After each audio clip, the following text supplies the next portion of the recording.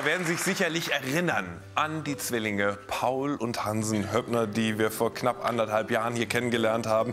Die beiden hatten verabredet, endlich mal wieder etwas gemeinsam zu unternehmen. Radfahren nämlich. Eine gemeinsame Tour ins Umland von Berlin bis nach Shanghai, um ganz genau zu sein. 13.600 Kilometer auf dem Rad und sie sind nicht nur dort angekommen, sondern auch am Ende bei sich selbst. Allerdings haben sie gemotzt. Sie haben ein wenig gekotzt unterwegs, ganz am Ende auch ein klein wenig geprotzt, als es dann geschafft war. Und sie schworen sich, Mensch, so eine Wahnsinnstour machen wir beide zusammen irgendwann noch einmal.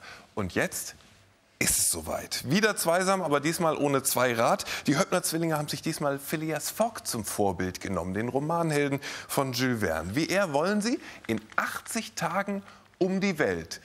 Wir erinnern uns, Phileas Fogg hat ein Startkapital von gut 20.000 Pfund bei sich. Bei den beiden ist es ein bisschen weniger. 20.000 weniger, um ganz genau zu sein. Die Welt für Lau in nur 80 Tagen, das haben sie sich vorgenommen. Stefan Euler mit Teil 1 dieses Abenteuers. Es gibt schon Orte in Europa, die sind richtig zum Kotzen. Und die Menschen erst, die da leben, da darf man sich schon mal aufregen. Verstehe ich nicht. Verstehe ich echt nicht. So, geil, ihr trennt, ich fahre in eure Richtung, ich nehme euch aber nicht mit. Hansen und Paul, zwei Brüder und ein irres Experiment. Kann man einmal um die Welt reisen ohne Geld und das in 80 Tagen? Die zwei werden es in den kommenden Wochen für Stern TV ausprobieren. Eine Werkstatt in Berlin. Letzte Feinarbeit an einem besonderen Gefährt. Ein Reisekoffer mit integriertem Rad. Selbst konstruiert von den gewieften Brüdern, speziell für die Weltreise. Wir haben ein Kofferformat hier genommen, sodass es eigentlich ein ganz normales Aufgabegepäck ist am Flughafen. Also die Maße sind sozusagen an jedem Flugzeug transportierbar. Dazu muss man natürlich das Rad komplett einklappen können. Es ist so, dass auch hier vorne diese Halterungen natürlich ein- und ausfahrbar sind. Ähm, und kann man dann auch arretieren. Sodass es letztendlich eben auch schnell beim Trampen an der Straße, wenn man sie angeschnallt hat, in 0, nichts ausgehängt ist, zusammengeklappt ist und in jeden Polo reinpasst. Die fahrende Kiste ist mobil und ungeheuer geräumig. Schließlich muss da Krimskrams, Campingzeug und Technik und was auch immer noch alles für 80 Tage reinpassen. Wir haben definitiv nicht gedacht, dass wir es alles in die Anhänger reinkriegen, aber im Endeffekt hat es auch gepasst. Was sich da auf den ersten Blick nicht findet, ist Kleidung. Wie viel plant man da ein? Äh, Das, was wir anhaben, ja. Also es ist eigentlich nicht so viel, was wir mitnehmen. Wir haben, glaube ich, äh, quasi zwei Sets dabei. Nicht viel, ja. Ähm, sodass man eine, eine Unterhose waschen kann, während man die andere trägt. So Also ungefähr. das Grüne ist alles, was ihr an Klamotten mitnehmt. Ja. Beide. Beide, ja. Das heißt eine Unterhose für drei Monate. ja. Eine Unterhose für beide. Müssen uns immer teilen. Geschlafen wird günstig und luftig. Das ist unser Hotel. Als Lebensversicherung fungiert ein Glücksbringer der Eltern. Unser Ziel ist es schon immer lebendig zurückzukommen. Das, ist schon, das steht schon ganz groß auf unseren Fahnen drauf. Eines sticht ins Auge. Die Brüder sehen schon sehr gleich aus. Stimmt, sie sind Zwillinge. Aber Paul ist klar zu unterscheiden am Narbenritz. Zudem Paul grüne Kappe, Hansen blaue Kappe. Der Morgen graut, das Abenteuer steht kurz vor dem Start. Kabel sortieren, Akkus laden, Kameras einstellen. Die komplette Reise wird für Stern TV gefilmt. Die ungefähre Route geht so. Los geht's natürlich in Berlin. Dann wollen wir runter nach Lissabon und von Lissabon mit dem Flugzeug nach Toronto. Von Toronto nach Vancouver. Über den Pazifik nach Japan, von da aus nach Hongkong, weiter durch Indien bis nach New Delhi. Dann irgendwie nach Kasachstan und über Russland zurück nach Berlin. In 80 Tagen. In 80 Tagen. Finanzieren wollen sie die gesamte Reise auf der Straße durch selbst erarbeitetes Geld oder über Spenden. Ihr schwört Steinbein, dass ihr kein Geld mit habt. Wir haben kein Geld dabei. Ich habe eben noch mal die Taschen entleert extra. Ich hatte noch so ein paar Centstücke und so, aber jetzt ist alles weg. So brechen zwei Abenteurer um 5 Uhr auf, um die Welt zu umrunden. Von Berlin-Neukölln durch Europa, über Amerika und Asien zurück. Und alles erwirtschaftet etwa über Bierdeckel. Guck mal. So ein Bierdeckel auf den Ring, dann hast du ein Herz da drauf. Die Grundidee ist einfach. Hansen ist gelernter Goldschmied. Aus Metallstücken oder Gegenständen aller Art sollen kleine Schmuckstücke oder Kunstwerke entstehen, die dann verkauft werden. Was jedoch nicht heißt, dass man Dosenpfand unbeachtet lässt. Die erste Kohle jedoch erbringt ein geknacktes, altes Fahrradschloss. Und da haben wir jetzt ein Zahlenschloss. Du kannst uns dafür geben, was du willst. Ich will euch einen Zehner geben. Perfekt. Das erste Geld. Wow, vielen Dank. Gerne. Wie cool. So kreiert Hansen den Berliner Sternbier Fahrradkettenring. Nicht schön, dafür von unschätzbarem ideellem Wert. Ein weiteres Modell entsteht aus dem Metall eines Sektkorkens. Das weckt schon eher Dameninteresse. Könnt ihr mal anprobieren, aber passt. Viel Geld kommt im Verkaufsraum am Alex so zwar nicht zusammen, aber die Produkte kann man ja noch verfeinern. Nach etlichen Stunden als alternative Schmuckhändler ziehen die beiden in Sachen Geschäftsidee eine ernüchternde Bilanz. Ich hoffe, dass es besser wird. Wenn es nicht besser wird, wäre scheiße. Ähm, zusammenzufassen. Deprimierender erster Tag. Er war ähm, nicht so, wie erhofft. Er war so, wie erwartet vielleicht. Sagen wir so. Er war nicht so, wie erhofft. Ja. Eine Suite als Übernachtung fällt flach. Zum Glück gibt es in Berlin den Tiergarten. Wir hatten eigentlich gesagt, dass wir in den Tagen, wo wir in Deutschland sind, fast 350 Euro pro Tag verdienen müssen. Ähm, wir haben heute 56 Euro verdient. Es war die absolute Hölle, eben durch den Supermarkt zu laufen und äh, zu wissen, man sollte so wenig wie möglich ausgeben. Für den Hunger reicht es trotzdem. 2,49 Euro. Vorgeschmack für die nächsten Wochen. Na dann, guten Appetit.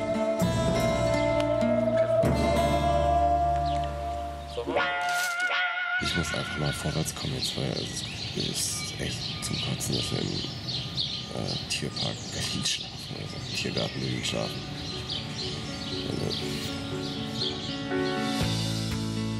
Nach frühem Aufstehen an Tag 2 gibt es kostenloses Kaffeewasser. Der Plan, Trampen an der Avus Raststätte. Die Route soll über Köln führen, aber, ja aber, auf dem Schild stimmt was nicht. Leider den Fehler gemacht und hat das N falsch rum gemalt. Ähm, zum Glück ist es ein Whiteboard-Stift und kein Edding, sonst hätte ich ihn jetzt höchstpersönlich am nächsten Laternenmast aufgehängt. Am besten an dem Schild nach Köln hätte ich ihn dann aufgehängt. Trampen in Deutschland. Ein zähes Geschäft. Da ein Kölner! Ja, die Kölner. Normal sind ja nett, aber der hier? Scheiße! So vergeht der Tag, ohne dass irgendjemand Erbarmen mit den beiden hätte. Stattdessen werden sie noch veräppelt. Der Fernbus da hinten, den der Hansen eben gezeigt hat, der kurbelte vorhin das Fenster runter und tada, schenkt uns ein Buch. Kein Schwein nimmt sie mit. In dem Tempo werden aus 80 Tagen 800. Also wir kriegen hier beide langsam echt richtig die Krise. Am zweiten Tag schon. Also Nach einer weiteren Nacht im Grünen fluppt es allerdings extrem. Zunächst geht es mit einem Pärchen nach Frankfurt. Und der Gott der Tramper meint es extrem gut an diesem Tag. Zwei Männer mit zwei Riesenkoffern, da ist man normal ja schon mal misstrauisch. Doch Paul und Hansen schaffen es an Tag 3 auf einen Rastplatz kurz vor Saarbrücken. Man stellt sich das eigentlich viel idyllischer vor. Schön Trampen, Abenteuer erleben, mit Menschen, am besten mit guten Freunden unterwegs sein, ähm, mit dem Bruder zusammen das alles erleben und so weiter. Aber die Strapazen und die Herausforderungen, die so täglich auf einen zukommen, die sind echt auch nervig. Die dritte Nacht hungrig im Wald. Paris, do you have space or do you go the same direction? Der Versuch, schnell nach Frankreich zu kommen, scheitert. Es geht zunächst nach Saarbrücken rein. Dort wollen die zwei noch etwas Geld mit dem Schmuckverkauf verdienen. Das Ausschlachten einer gefundenen, sie ist wirklich nicht geklaut, Fahrradfelge spült Geld in die Kasse. Für sage und schreibe 10 Euro, da ist er, genau. Dankeschön. Vielen, vielen Dank. Das kommt jetzt direkt in die Kasse, damit sind wir bei 85 Euro. Und bald darauf sind sie auch schon in Frankreich. Schnell geht es Richtung Lyon, dann nach Montpellier. Und es gilt, den nächtlichen Reiz französischer Raststätten zu genießen. Eine erste Erfahrungsbilanz. Auf dieser Tour kann man nur erfolgreich sein, wenn man alle Vorurteile vergisst und nochmal neutral die Menschen bewertet. Mücken werden weiterhin nicht neutral bewertet. Tag 6. Nach dem Kaffeetrinken mit Erdnussbutterbrot geht der normale Job des Hobos los, Leute anquatschen. Vous avez l'espace pour ça et ça et nous? Non? Da die beiden nach erfolglosen Stunden ungeduldig werden, ein Ortswechsel, dazu nötig Sprinten auf der Autobahn. Lebensgefährlich. Wir machen es einfach trotzdem mal. Das bleibt uns ganz übrig, weil wir müssen auf die andere Seite kommen, um die Leute abzufangen, die zur Autobahn fahren. Frankreich bleibt gefährlich, denn Gefahr lauert für die zwei auch woanders. Wir sind ja gerade von äh, Julie mitgenommen worden. Und sie hat einen ziemlichen Bleifuß, muss ich sagen. Äh, fährt sehr schnell, aber das hat sie eben gefragt, ob es in Ordnung ist und man kann es ja nicht ändern. I just said you like to drive fast. Ich glaube, ich kann mit gutem Gewissen sagen, dass ich seit langem bei niemandem mehr mitgefahren ist, der so bin, der so schlecht und trotzdem so schnell und, und also unvorsichtig fährt. Ne? Ähm, die ist ein paar Mal auf der Autobahn beinahe einem hinten drauf gerappelt. Ja, ein paar Mal, innerhalb von einer halben Stunde oder Weil sie Stunden, die wir sowohl waren. rauchend als auch essend und auch gleichzeitig noch mit einem Stift auf dem Lenkrad Ja. äh, schreibend. Die wirkte auch irgendwie so hyperaktiv. Ja. Das war mega krass. Die wirkte, als ob sie es super eilig hätte. Aber ich weiß gar nicht, ob sie es eilig hatte. Junge, Junge, Junge, ey, war das ein Ritt. Aber immerhin sind wir weitergekommen, Hansen. Und weiter geht es nach Spanien, bei Trempern als Horror schwierig verschrien.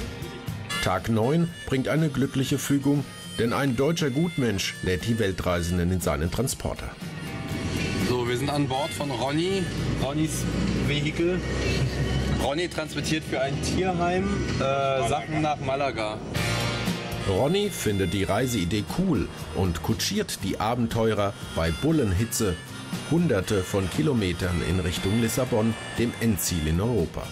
Dort wollen die Höppners dann endlich richtig Geld verdienen. Vorbei an Benidorm geht es durch die schneebedeckte Sierra Nevada in eine Pension nahe Sevilla. Die Klamotten riechen streng, es wird gewaschen.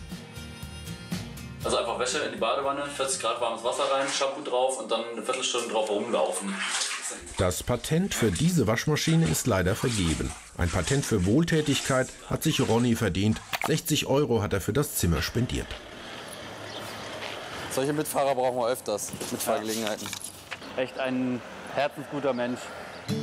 Es ist Tag 11. Es ist ein schlechter Tag. Noch sind es 450 Kilometer bis zum ersten Ziel Lissabon. Und die beiden stecken in Sevilla fest. Das ist wirklich wie verhext. Die Leute schauen uns beim Arsch nicht an. Ich weiß nicht, was los ist. Bei etwa 40 Grad zu trampen ist humorfrei und Tramper an sich haben in Spanien offensichtlich schlechte Karten. Jedenfalls verliert Paul kurz mal die Toleranz. Ist bei den Spaniern einfach äh, das Auto auf der Privatsphäre-Skala ähnlich eingestuft wie das eigene Bett. Und wenn in Deutschland mich irgendein Wildfremder fragen würde, darf ich in deinem Bett schlafen, würde ich wahrscheinlich auch sagen, nein. Hansen hofft, dass sie ihn nicht für eine Nutte halten. Das passiert nicht. Allerdings passiert auch sonst nichts. Gar nichts. Nach einem richtig krass erfolglosen Tag, der quasi schlimmer war als alle anderen Tage jemals zuvor, haben wir gesagt, wir machen jetzt das Allerbeste draus und gönnen uns einen richtigen Luxus. Kartoffelchips und Bier reißen ein gewaltiges Loch in den Reiseetat. 4,65 Euro. Reiner Luxus. Vom restlichen Geld buchen die Brüder eine Mitfahrgelegenheit online. Weitere 46 Euro sind weg. Dafür juckeln die Weltreisenden am nächsten Morgen mit einem Bus nach Portugal. Beide haben die Schnauze voll vom Daumen raus und sind nun fast blank. Auf der Habenseite nach der ersten Pflichtroute nach Lissabon stehen nur noch 8,13 Euro. Und klar ist auch, Kohle verdienen in Lissabon wird schwer. Für die Flüge nach Toronto müssen sie auf der Straße 700 Euro erarbeiten. Ob das geht bei dieser Konkurrenz, wir werden sehen. Wir verfolgen die Tour natürlich hier in den kommenden Wochen. Und wenn Sie mehr Bilder anschauen wollen von den Zwillingen auf Reisen, dann auf sterntv.de.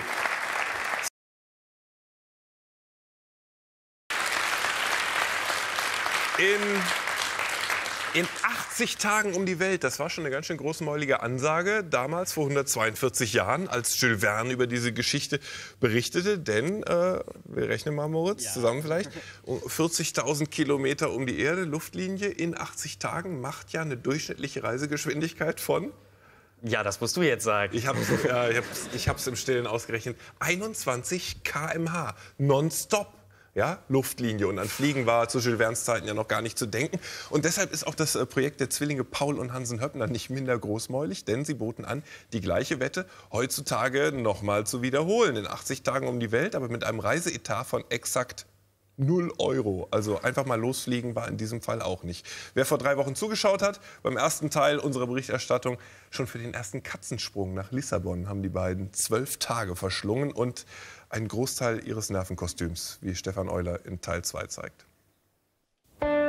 Geschwister kennen das. Der Bruder ist doof, Kohle weg, der Weg umsonst, die Stimmung am Siedepunkt. Und jetzt ist er einkaufen gegangen, vier Kilometer zu irgendeinem scheiß Supermarkt gelatscht und verliert alles Geld auf dem Weg, 20 Euro, was er mitgenommen hatte. Kann den Einkauf nicht machen, darf die vier Kilometer zurücklatschen, 20 Euro sind weg und er darf danach wieder hinlatschen der halbe Tag rum, das scheiß Einkauf gemacht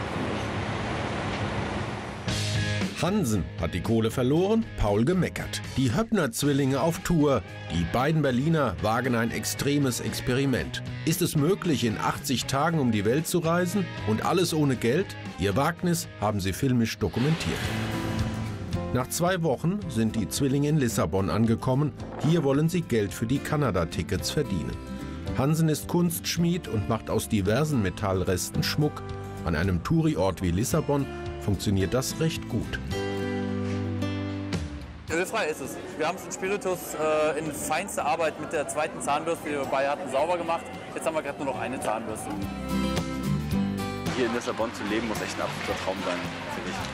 Wenn man die Sprache spricht, die Locals ein bisschen kennt. Es gibt, glaube ich, keine Stadt, in der Fremde und Touristen, also keine Stadt, die ich kenne, in der Fremde und Touristen so unvoreingenommen begegnet wird und eben noch nicht mal so, dass man das Gefühl hat, die Leute haben es satt, dass hier die Touristen herkommen, sondern man ist einfach wirklich immer willkommen. Auch wettermäßig ist Lissabon sympathisch. Man schläft hier sehr gut draußen, vorausgesetzt man findet ein Fleckchen. Also das ist ja perfekt, oder? Jetzt haben wir hier so eine Ecke gefunden. Da oben ist eigentlich ganz okay, ist ein bisschen so eine Müllecke. Aber wenn man das Zeug da wegräumt, dann geht es. Und außerdem ist es wenigstens keine Pissecke, weil man muss nämlich hier über so eine Mauer hochklettern. Ich glaub, ich 1a die Ecke, bisschen fegen, dann geht's. Hotels und Pensionen kosten Geld, was die beiden partout sparen wollen. Warum auch zahlen? Balkone gibt es weltweit umsonst. Und auch beim Essen wird geknausert. Als kulinarisches Traumfrühstück erweist sich etwa Brot mit Butter und Tomatenmark. Portugiesische Nächte sind meist erholsam. Und wie hat der Herr geschlafen? Hervorragend. Neben einem Kondom.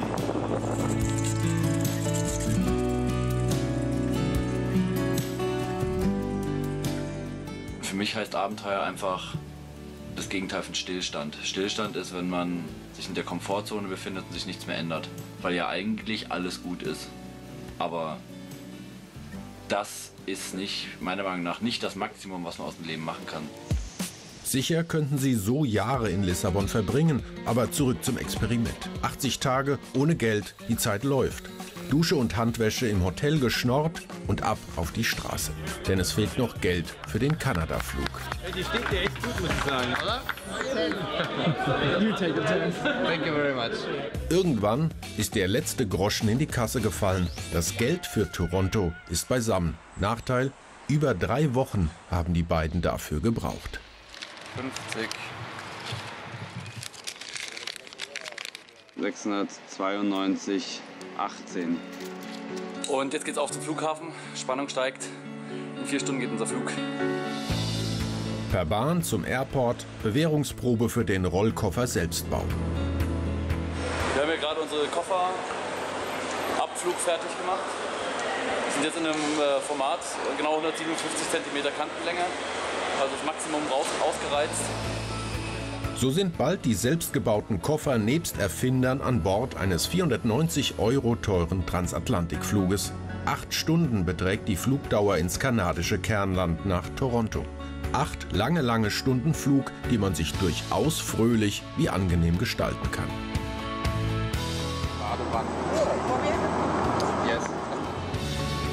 Amerikareisende kennen das. Grenzbeamte sind ohne jede Freude.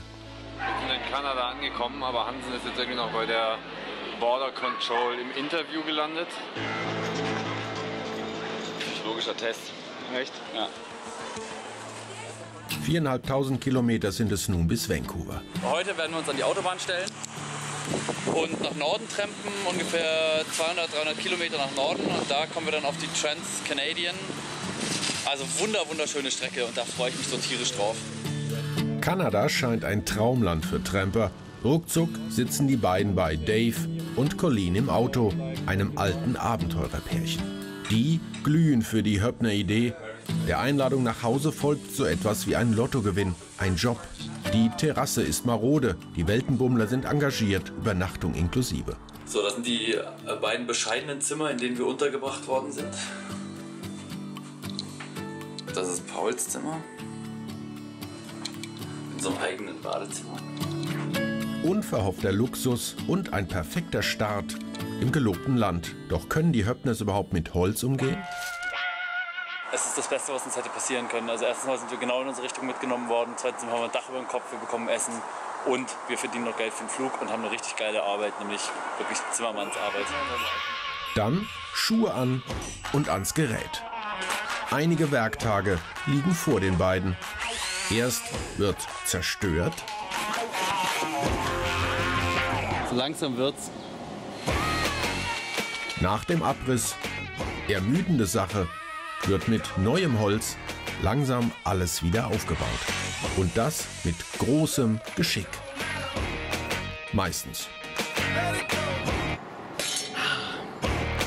Tausende Schrauben später ist das Kunstwerk fertig. Unruhig. Kannst du aufhören, Paul, damit ich den Ton aufrennen kann? Paul, bitte. Ähm. Äh, er fährt jetzt zur Bank und meinte so, ähm, wenn wir morgen hier noch arbeiten würden, weil es noch ein paar Sachen zu tun gibt, dann würde er uns 1400 kanadische Dollar bezahlen. Äh, das ist ganz genau eigentlich der Flug von Vancouver nach Tokio. Und Damit äh, sind wir auf jeden Fall schon mal über alle wichtigen Meere rüber. damit sind, damit sind wir über alle wichtigen Meere rüber. Vier glückliche Menschen, zwei mit einem neuen Balkon und zwei mit einem fetten Konto. Doch kein Zug, kein Bus, eisern wird gespart und deshalb getrennt. Die Höppners leben weiter auf der Straße und weiter von Fastfood. Geil, Essen ist fertig. Essen ist fertig! Kanada ist wirklich ein so geiles Land. Ich habe so das Gefühl, dass die Leute hier so eine stille Übereinkunft haben, sich gegenseitig zu helfen. Und dass das so eine Art Kettenreaktion ist, dass nämlich jeder sagt, dieses Land ist so geil, weil wir diesen Schatz haben, weil wir diese Hilfe haben und dieses Vertrauen gegenüber einander haben. Äh, keiner klaut da was, niemand. Ja, außerdem, wenn man etwas klaut, ist auch nicht so gut. Tagelang hangeln sich die Weltreisenden von Wiese zu Wiese, von Kurzstrecke zu Kurzstrecke. Weit über 20.000 Kilometer sind es Luftlinie, noch bis zum Ziel Berlin. Ein Weg über endlose Straßen, auf dem endlosen Regen. Und wieder mal küsst die Höppners auf der Strecke nach Vancouver das Glück. Ähm, unser Mitfahrgelegenheit hat, äh, Jeff heißt er, hat das Nummernschild awesome. Und äh, genau das ist es auch, weil der nimmt uns echt mehrere tausend Kilometer mit. Tausende Kilometer durch Nordamerika und überall ist das Klischee lebendig. Also es ist nicht nur so, dass wir in diesem Land hier irgendwie gut Geld verdienen, sondern wir kommen gleichzeitig auch noch gut voran. Das ist echt ein absoluter Traum für unser Projekt. Das ist schon fast so easy, dass ich sagen muss, äh, da muss mal wieder ein bisschen Spannung rein. Die Spannung kommt schnell und heißt Paul. Paul erzählt, er sei Hells Angel. Doch dieser Höllenengel ist im weiteren Verlauf kein fieser Mensch. Der Mann ist super nett zu den Höppners und lädt die zwei sogar ein, bei ihm zu übernachten. Aber wenn man seine Chancen erhöhen will, das Ganze zu schaffen, muss man in jedem Menschen, der irgendwie einem begegnet, ähm, das Potenzial sehen, unabhängig davon, wie er aussieht, wie er gekleidet ist oder vielleicht auch wie er im ersten Moment sogar wirkt. Pauls Einladung zum Relaxen bei ihm wird angenommen, nur 400 Kilometer vom Ziel Vancouver entfernt. Die Höppners beziehen ein paar Stunden später in der Stadt Kelowna ein spartanisches Quartier. Also wir sind hier in so einem kleinen, eigentlich in einem reichen Viertel. Wenn man sich hier mal umschaut, das ist wie so ein, äh, ja, wie so ein Paradies in Miami oder Florida irgendwas. Ja. Und ähm, ja, also er ist ein, äh, so, ein, so ein richtiger Rocker. Ne? Da steht seine Höllenmaschine. Das einzige Problem der Höllenmaschine, sie springt zur Hölle nicht an. Vielleicht der Sprit? Nichts zu machen. An anderer Stelle mangelt es nicht an Sprit. Der reicht für eine veritable Feier. Und da Paul einiges an Erfahrung im Feierbereich hat, wird es ein sehr langer Abend. To, to this beautiful place. Wir haben gestern Abend äh, auf jeden Fall einen über den Durst getrunken. Heute Morgen aber trotzdem um halb acht aufgestanden und ähm, so ein paar Sachen repariert. Ich glaube, wir haben einen Einbrecher. Die Brüder installieren hier was und da was und werden belohnt. Paul hat noch eine Höllenmaschine. Ein Spaßtag ist eigentlich nicht so wirklich drin. Also wenn man versucht, es in 80 Tagen die Welt zu schaffen, dann muss es in 80 Tagen schaffen. Ähm, wir müssten eigentlich wieder an der Straße stehen und trampen. Ja. Denn von den 80 Tagen ist fast die Hälfte weg. Und dann stehen sie auch wieder da, mitten in der kanadischen Pampa, mitten im pfeifenden Wind. Die letzte Nordamerika-Etappe. Nach einer Zeltnacht im Gras, ein letztes Mal den Daumen benutzt, endlich ist die Westküste erreicht. Vancouver gilt als schönste Stadt Kanadas mit enormem Freizeitwert. Vor allem der Pazifik mit seinen Stränden lockt die Einwohner. Davon haben auch die Zwillinge gehört. Wir sind angekommen in Vancouver am Pazifik. Ich koche uns gerade mal ein bisschen Reis. Zum gefühlt hundertsten Mal gibt es Reis, Mais, Thunfischtopf. Da nähert sich eine urige Gestalt. Ein Körper auch vom Bier geformt. Der quasselnde Mann hat ein absolutes Lieblingswort. Fucking, fucking, fuck. fucking, fucking, fucking, fucking thing. Nein, fucking ist der Tag nicht. My name is Kyle. Kyle. Yes. Kyle. Nice to meet you, Kyle. And uh, Paul. Paul and uh, I'm Hansen. Hansen. Hansen, ja. Hansen? Und jetzt haben wir ein Jobangebot von Kai gekriegt. Wir können morgen von 8 Uhr morgens sechs Stunden lang für ihn arbeiten, kriegen jeder 20 Dollar die Stunde. Das heißt, es sind insgesamt ähm, fast nochmal 300 Dollar. Ob dieses selige Bierversprechen wirklich stimmt und ob die Höppners als Möbelpacker was taugen, wir werden es sehen. Demnächst. Wir bleiben dabei und mehr Bilder von dieser wirklich irren Reise können Sie einstweilen erstmal auf sterntv.de betrachten. Falls Sie gerade reinschalten, willkommen, bleiben Sie einfach bei uns. Ja, zwei Brüder sitzen als Mitfahrer im selben Auto und fahren mit 140 Stundenkilometer aus Berlin raus und gleichzeitig auf Berlin zu. Klingt irgendwie so ein bisschen nach Science Fiction, nach Zeitmaschine, nach Metaphysik, aber die Lösung ist viel einfacher. Denn äh, Paul und Hansen Höppner, die beiden Zwillinge, haben Berlin, ich zeige Ihnen das mal, in die eine Richtung verlassen, um gleichzeitig aus der anderen Richtung wieder darauf zuzufahren. Auf dem wohl längsten Umweg der Welt, wie Sie das nennen, in 80 Tagen nämlich einmal um die Welt. Diese Aufgabe hatten sich die beiden gestellt, allerdings auch mit dem kleinsten Reisebudget der Welt, nämlich mit gar nichts. Aber siehe da, in den ersten beiden Teilen unseres Reiseberichts haben es die beiden Zwillinge immerhin schon bis Kanada geschafft, dank äh, Gelegenheitsjobs, dank ausdauernder Daumen und kostengünstiger Übernachtung im Zelt. Allerdings sind die ersten 40 Tage auch schon rum. Und es zeigt sich, diese Weltreise, die kostet doch ganz schön. Und zwar Nerven. Stefan Euler hat Paul und Hansen ein weiteres Mal beim Austicken beobachtet in Teil 3 unseres Reiseberichts. Dicke Luft. Die Welt liegt in Trümmern. Der Globus zerdeppert in zwei Teile, weil einer der Höppners zum Wüterich wurde. Einfach mal, der muss, Typ muss einfach mal lernen, seine Fehler zu akzeptieren. Und wenn man ihm die dann auf die Nase bindet, was vielleicht nicht so die feine Art von mir war. Du hast mir noch während ich durchgedreht bin gesagt, Paul, du bist so ein Vollidiot. Ich bin einfach auch tierisch genervt von diesem Scheißtag. Fuck, so kann das nicht weitergehen. Zwei Zornige am Rande des Wahnsinns. Die Zwillinge Hansen und Paul Höppner auf Tour. Die Berliner wagen ein extremes Experiment. Ist es möglich, in 80 Tagen um die Welt zu reisen und alles ohne Geld? Ihr Wagnis haben sie filmisch dokumentiert. Vancouver. Bierpause mit einem urigen Kanadier. Das Anstoßen mit Zufallsbekanntschaft Kyle erweist sich als kleines Glück. Jetzt haben wir ein Jobangebot von Kai gekriegt. Wir können morgen von 8 Uhr morgens sechs Stunden lang für ihn arbeiten. Der nächste Morgen warten auf Möbelpacker Kyle und den 300-Dollar-Job. Da ist er. Pünktlich ist der Mann schon mal, ob er auch zuverlässig zahlt? Jedenfalls tragen und schieben, schwitzen und stöhnen die beiden dann schnell unter der Last von Anwaltsmobiliar. Eigentlich bräuchten sie einen Anwalt wegen schlechter Arbeitsbedingungen. Gerade eben zum Beispiel ist da irgend, irgend so eine krasse Schwelle rübergefahren. Wenn ich da gesessen hätte, da brichst dir echt die Wirbelsäule, ey, wenn das so ungefedert ist. Kyle sagt, er will den Lohn überweisen, da ihre Tokio-Tickets schon bezahlt sind, ein warmer Regen. Doch erst tragen, schieben, schwitzen und stöhnen. Es ist heute Halbzeit und morgen Abend bzw. morgen Nacht werden wir in Japan sein. An Tag 41 setzen die Höppners dann zum Sprung über den Teich an.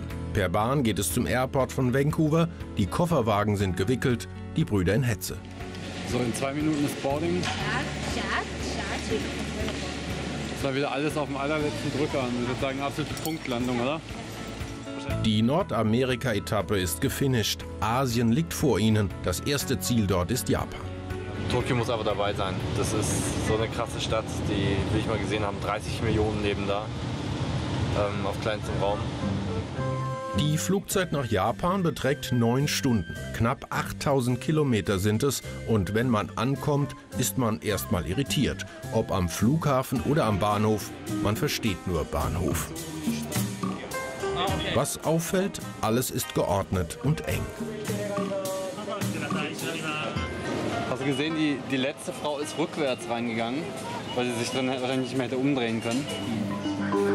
Die Metropolregion Tokio ist fast so groß wie Schleswig-Holstein, aber komplett zugebaut. 37 Millionen Einwohner, ein Gewimmel aus Straßen, Schienen, Tunneln, Menschen.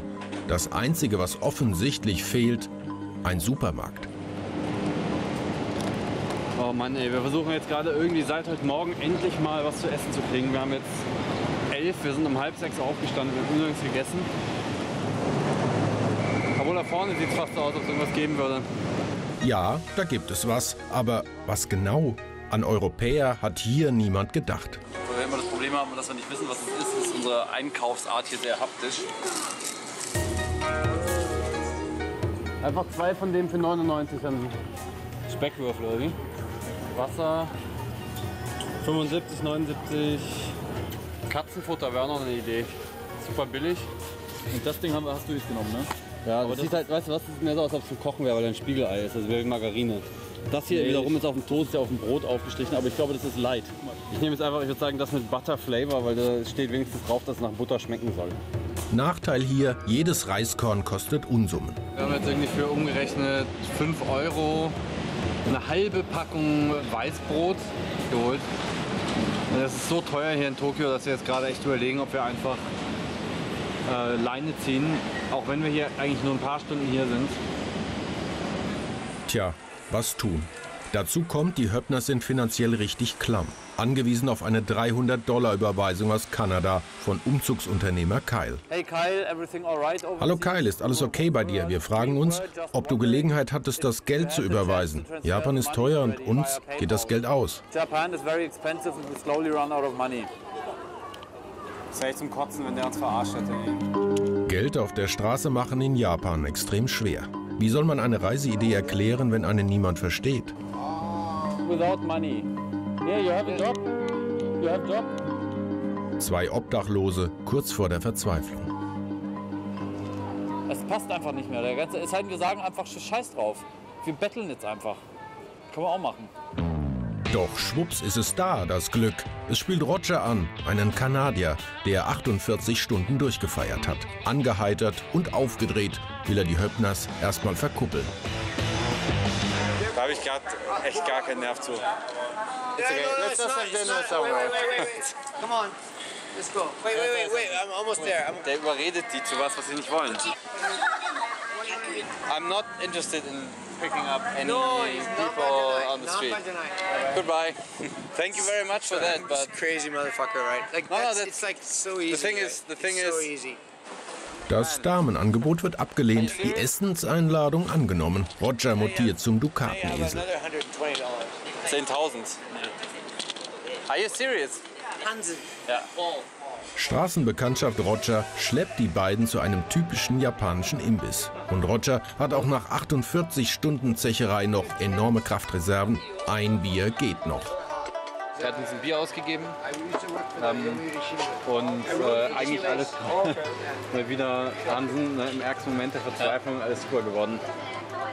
Und noch ein Bier geht. Roger hat seine Trinkpartner gefunden und sein gutes Herz entdeckt. Er sponsert die Höppners weiter. You just gave us. Don't worry. Nochmal 1000. I'm not trying to be the big man. No, I know, I know. You are. Right now you are. It's from my heart. See you later. Irgendwann geht Roger dann zu einem Meeting und die Höppners bierselig ins Zelt.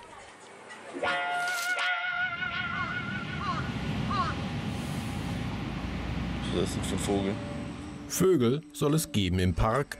Am Schlafplatz tut sich ganz früh ganz Merkwürdiges. Die Japaner sind auf jeden Fall auch ein sehr tüchtiges Völkchen, muss man sagen. Die meisten Leute laufen hier einfach nur im Kreis. Überraschend finde ich, dass sie alle wirklich in eine Richtung laufen. Es gibt keinen, der in eine andere Richtung läuft. Manche Leute rennen klatschend durch die Gegend, andere Leute halten die Arme hoch beim Laufen, andere Leute schwingen mit einem Stock. Hier vorne spielt einer die ganze Zeit Gitarre. Tag 46 von geplanten 80 läuft. Höppners brauchen Kohle, aber Sintfluten verhindern die Arbeit. Japan, Regenzeit, hallo. Woher sollen wir denn jetzt wissen, dass jetzt Regenzeit ist? Wieso sagt uns das denn keiner vor der Reise? Hä? Mama, Papa, wieso sagten ihr uns sowas nicht? Ich finde das irgendwie scheiße von euch. Unter der Tokio-Version des Eiffelturms wird die Schmuckfabrik Höppner beauftragt, ein japantaugliches Sortiment zu entwickeln.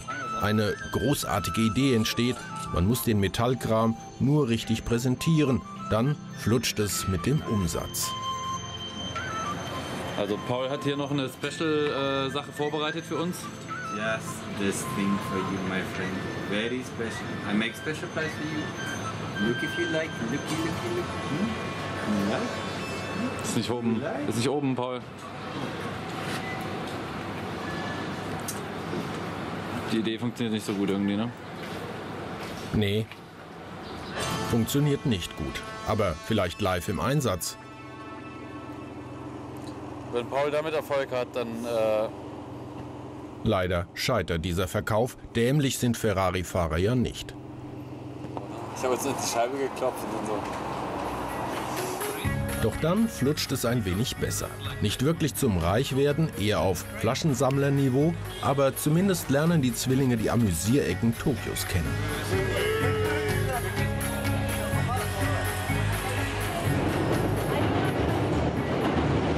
ja, ich würde sagen, wir sind endlich mal hier angekommen in äh, Tokio. Zwecks Überzeugungsarbeit wird mit Kunden auch mal einer gezwitschert. Oder zwei. Wir haben den, den Spender jetzt mal anonym, anonymisiert. Extrem solide gebaut. Das ist Umgerechnet 80 Euro hat er bezahlt. Wir sind ziemlich betrunken und wir fahren jetzt Richtung Park. Fans sind auch immer dabei. Ist korrekt, oder? 80 days. Ich frage mich immer, wann der Moment kommt, in dem wir mal überfallen werden oder ausgeraubt oder in dem uns unser Vertrauen zum Verhängnis wird. Auch an diesem Abend haben sie ihre Ruhe. Dafür quält beide eine Frage. Wird Kyle das für den Weiterflug nach Hongkong fehlende Geld überweisen? Die Höppners sparen. Lecker Abendessen geht so, Reis mit Reis und Reis. Hallo Kyle, Hallo Kyle, hier ist Paul, einer der beiden Zwillinge, die für dich gearbeitet haben. Wir würden gerne wissen, wann wir das Geld erwarten können. Wir brauchen das Geld schnell. Bitte ruf mich an, wann wir das Geld erwarten dürfen. Tschüss. Verarscht oder nicht verarscht? Diese kleine Frage ist entscheidend dafür, wie es weitergeht und vor allem, ob es weitergeht. Pleite zu sein in Tokio ist nicht lustig. Auflösung demnächst. Irre Typen, deren Fotos Sie übrigens betrachten können. Auf sterntv.de gibt es mehr Bilder dieser Reise und dann demnächst hier den nächsten Teil. Wer sich im Internet auf Flirtportalen umtut, der wenn man das Reisebudget reduziert, sagen wir mal auf gar nichts. Die Zwillinge Paul und Hansen Höppner, die haben genau das probiert und wir erzählen seit Wochen ihre Geschichte. Angefangen hat es in Berlin. Mit eigener Schmuckkreation läppern sie sich Geld zusammen und trampen zunächst quer durch Europa. Die Gefahr als Begleiter. Junge, Junge, Junge, ey, war das ein Ritt. Aber immerhin sind wir weitergekommen. Nach zwei Wochen erreichen sie Lissabon. Es folgen zehn Tage Geld verdienen, dann der Sprung über den großen Teich. In Toronto heuern sie als Zimmermänner an mit Geschick. Langsam wird's. Lohn 1400 Dollar. Weiter geht's durch Kanada bis Vancouver. Auch hier jobben sie als Möbelpacker, fliegen dann nach Tokio. 10.000. Ein verrückter Kanadier verhilft zum Weiterflug nach Hongkong. Dort Riesenbruderknatsch. Fuck, so kann das nicht weitergehen. Und doch geht es weiter. Sie machen Geld im Amüsierviertel und besteigen schließlich an Tag 57 einen Zug nach China. Und da wurde es dann abenteuerlich, wie Stefan Euler erzählt. Schüsse in einem Park in China. Hansen und Paul in Angst. Wer ballert da rum? Also es lief so ab, dass erst ein Auto da stand, da saß einer, der geraucht hat. Dann kam das andere Auto dazu. Dann ging der Kofferraum auf. Immer hat irgendwas auf Chinesisch gelabert. Dann hörte man diese Waffe, wie sie geladen wurde. Und dann hörte man, wie sie jemand abgefeuert hat und dabei dreckig gelacht hat. Da darf man schon mal nervös sein. Nicht alles ist also lustig auf der Welttour von Hansen und Paul. Die Zwillinge bei einem extremen Experiment. Kann man in 80 Tagen um die Welt reisen, von Berlin nach Berlin, ohne jedes Startkapital? Ihr Wagnis haben sie filmisch dokumentiert. Nach 26 Stunden Fahrt sind die Höppners kurz vor der Stadt Kunming. Es blitzt und kracht wie beim Weltuntergang, zur kleinen Freude von Paul. Ich finde ja so ein bisschen Katastrophe immer ganz geil, muss ich sagen. Geil, auch die Tafeln im Bahnhof Kunming. Ich verstehe Bahnhof, aber es wird schon das richtige Ruili sein, hoffe ich. Per Bus geht es nach Ruili an der Grenze zu Myanmar, von dort aus nach Indien. Außerdem guck dir mal an, wie abgeranzt der ist, ne? Abgeranzt ja, aber wenigstens kann man sich mal lang machen. Das Wort dafür heißt Komfort. So, wir sitzen im Sleeperbus nach ähm, Ruili. Auf jeden Fall äh, werden wir jetzt mal schlafen gehen, weil wir vorhaben, heute Nacht, wenn wir da ankommen, äh, direkt loszulaufen und über die Grenze zu gehen. Tief in der Nacht hat zwar noch ein Geschäft offen, aber nicht die Grenze. Wir haben noch keinen Schlafplatz hier. Es ist irgendwie halb zwei Uhr nachts.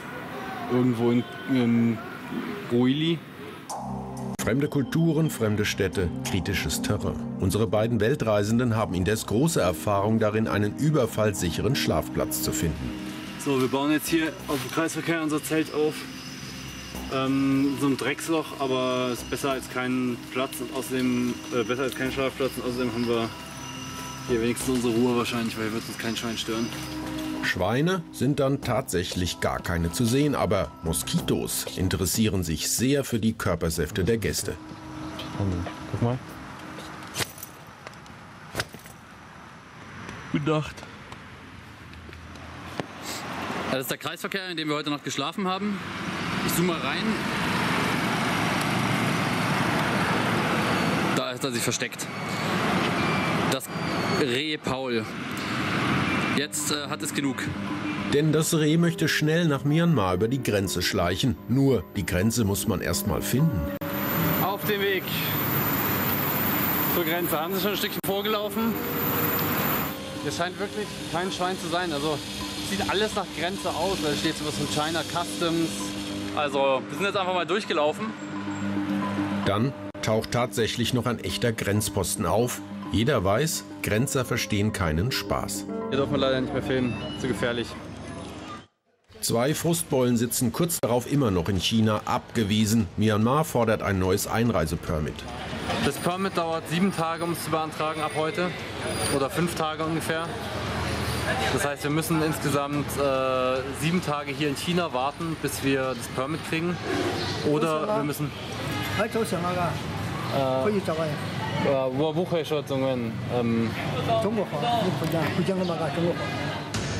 Es in 80 Tagen zu schaffen nun nahezu unmöglich. Und jetzt sind wir hier in der Falle. Komm nicht mehr weg.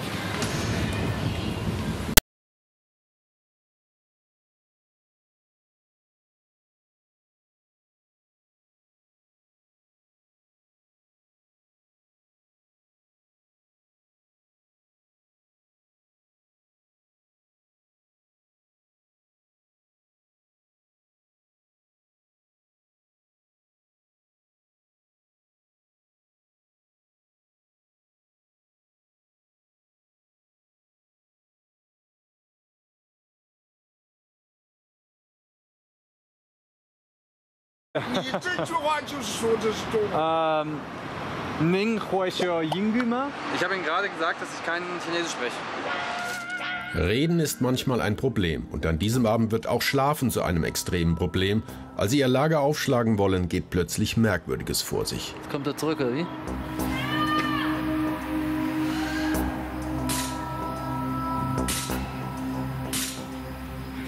Vielleicht ganz kurz für die Kamera zum Zusammenfassen, was bisher passiert ist. Wir sitzen hier gerade beide und äh, da findet irgendeine Art Übergabe Ich habe statt. das erste Mal wirklich in meinem Leben, glaube ich, einen Schock gekriegt, der bis in die Fingerspitzen ging. Ich habe gerade noch zu Paul gemeint, so, ich will jetzt keine Angst machen, aber es hört sich an, als ob da jemand eine Waffe durchlädt. Und im nächsten Moment macht es ping, ping, ping, ping, ping, ping, ping. Und so. Es hört sich an wie so eine schallgedämpfte Waffe. Das reicht aber dann auch. Also es ist schon ordentlich verfetzt. Sie wissen jetzt, dass wir hier sind. Was machen wir, wenn die jetzt rüberkommen? Die Kamera ganz schnell weg, würde ich sagen. Nach bangen Minuten geht zum Glück eine Stirnlampe an. Ja, wir leben noch. Ähm, die Jungs sind wieder abgedüst jetzt. In China geht es auch ruhiger. Vor allem morgens, da fuchtelt die ältere Generation mit den Armen und interessiert sich für den Kartoffelfraß der Höppners. Für die wird es nun ernst. Der Wettlauf mit der Zeit geht weiter. Jetzt sind wir auf dem Weg zur Autobahnauffahrt. Und äh, von da werden wir dann trampen. Erst versucht sich Paul am Reiseziel, Hättest es einfach so gelassen, Alter. dann kommt eine Schreibhilfe. Zügig kommen die beiden vom ersten Rastplatz weg. Der Weg nach Bangkok führt durch Laos.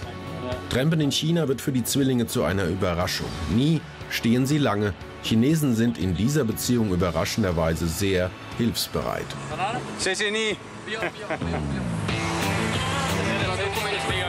Es geht anscheinend auf jeden Fall super easy in China zu trampen. Arme wie Reiche nehmen die Brüder mit. Also es ist unglaublich nett.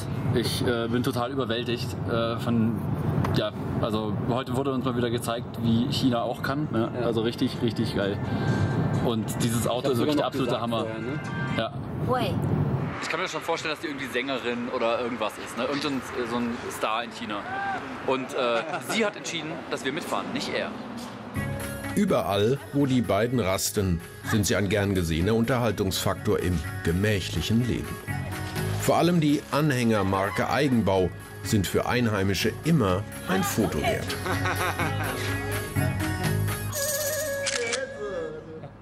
Weiter geht es durch den Südwesten. Da wird auf den stundenlangen Fahrten mal geschmust. Und man wird bestaunt, denn wohin wollen die beiden Weißen überhaupt? Wie rum gehört das Schild, so oder so? Egal, die Chinesen nehmen es mit lateinischer Schrift auch nicht genau. Dann wird es brenzlig. Polizei, ist die Reise nun vorbei? Arbeitslager? Geht es jetzt in den Knast? Es ist gerade echt ist, äh, mal wieder was passiert, was mir gezeigt hat, wie sehr man sich eigentlich in allem täuschen kann. Ich dachte immer, die Polizei wenigstens in China sind Arschlöcher. Ja. Aber auch nicht. Nein, die Polizei hat uns mitgenommen. Das, aber Geile, das Geilste, was noch der eine Polizist dann am Ende meinte, als ich mich bedankt habe bei ihm, meinte er noch, Welcome to China. Goodbye, Police. Schnell und schneller absolvieren die beiden ihre Etappen. Nach einigen Tagen Tremperei sind sie am Zwischenziel angekommen.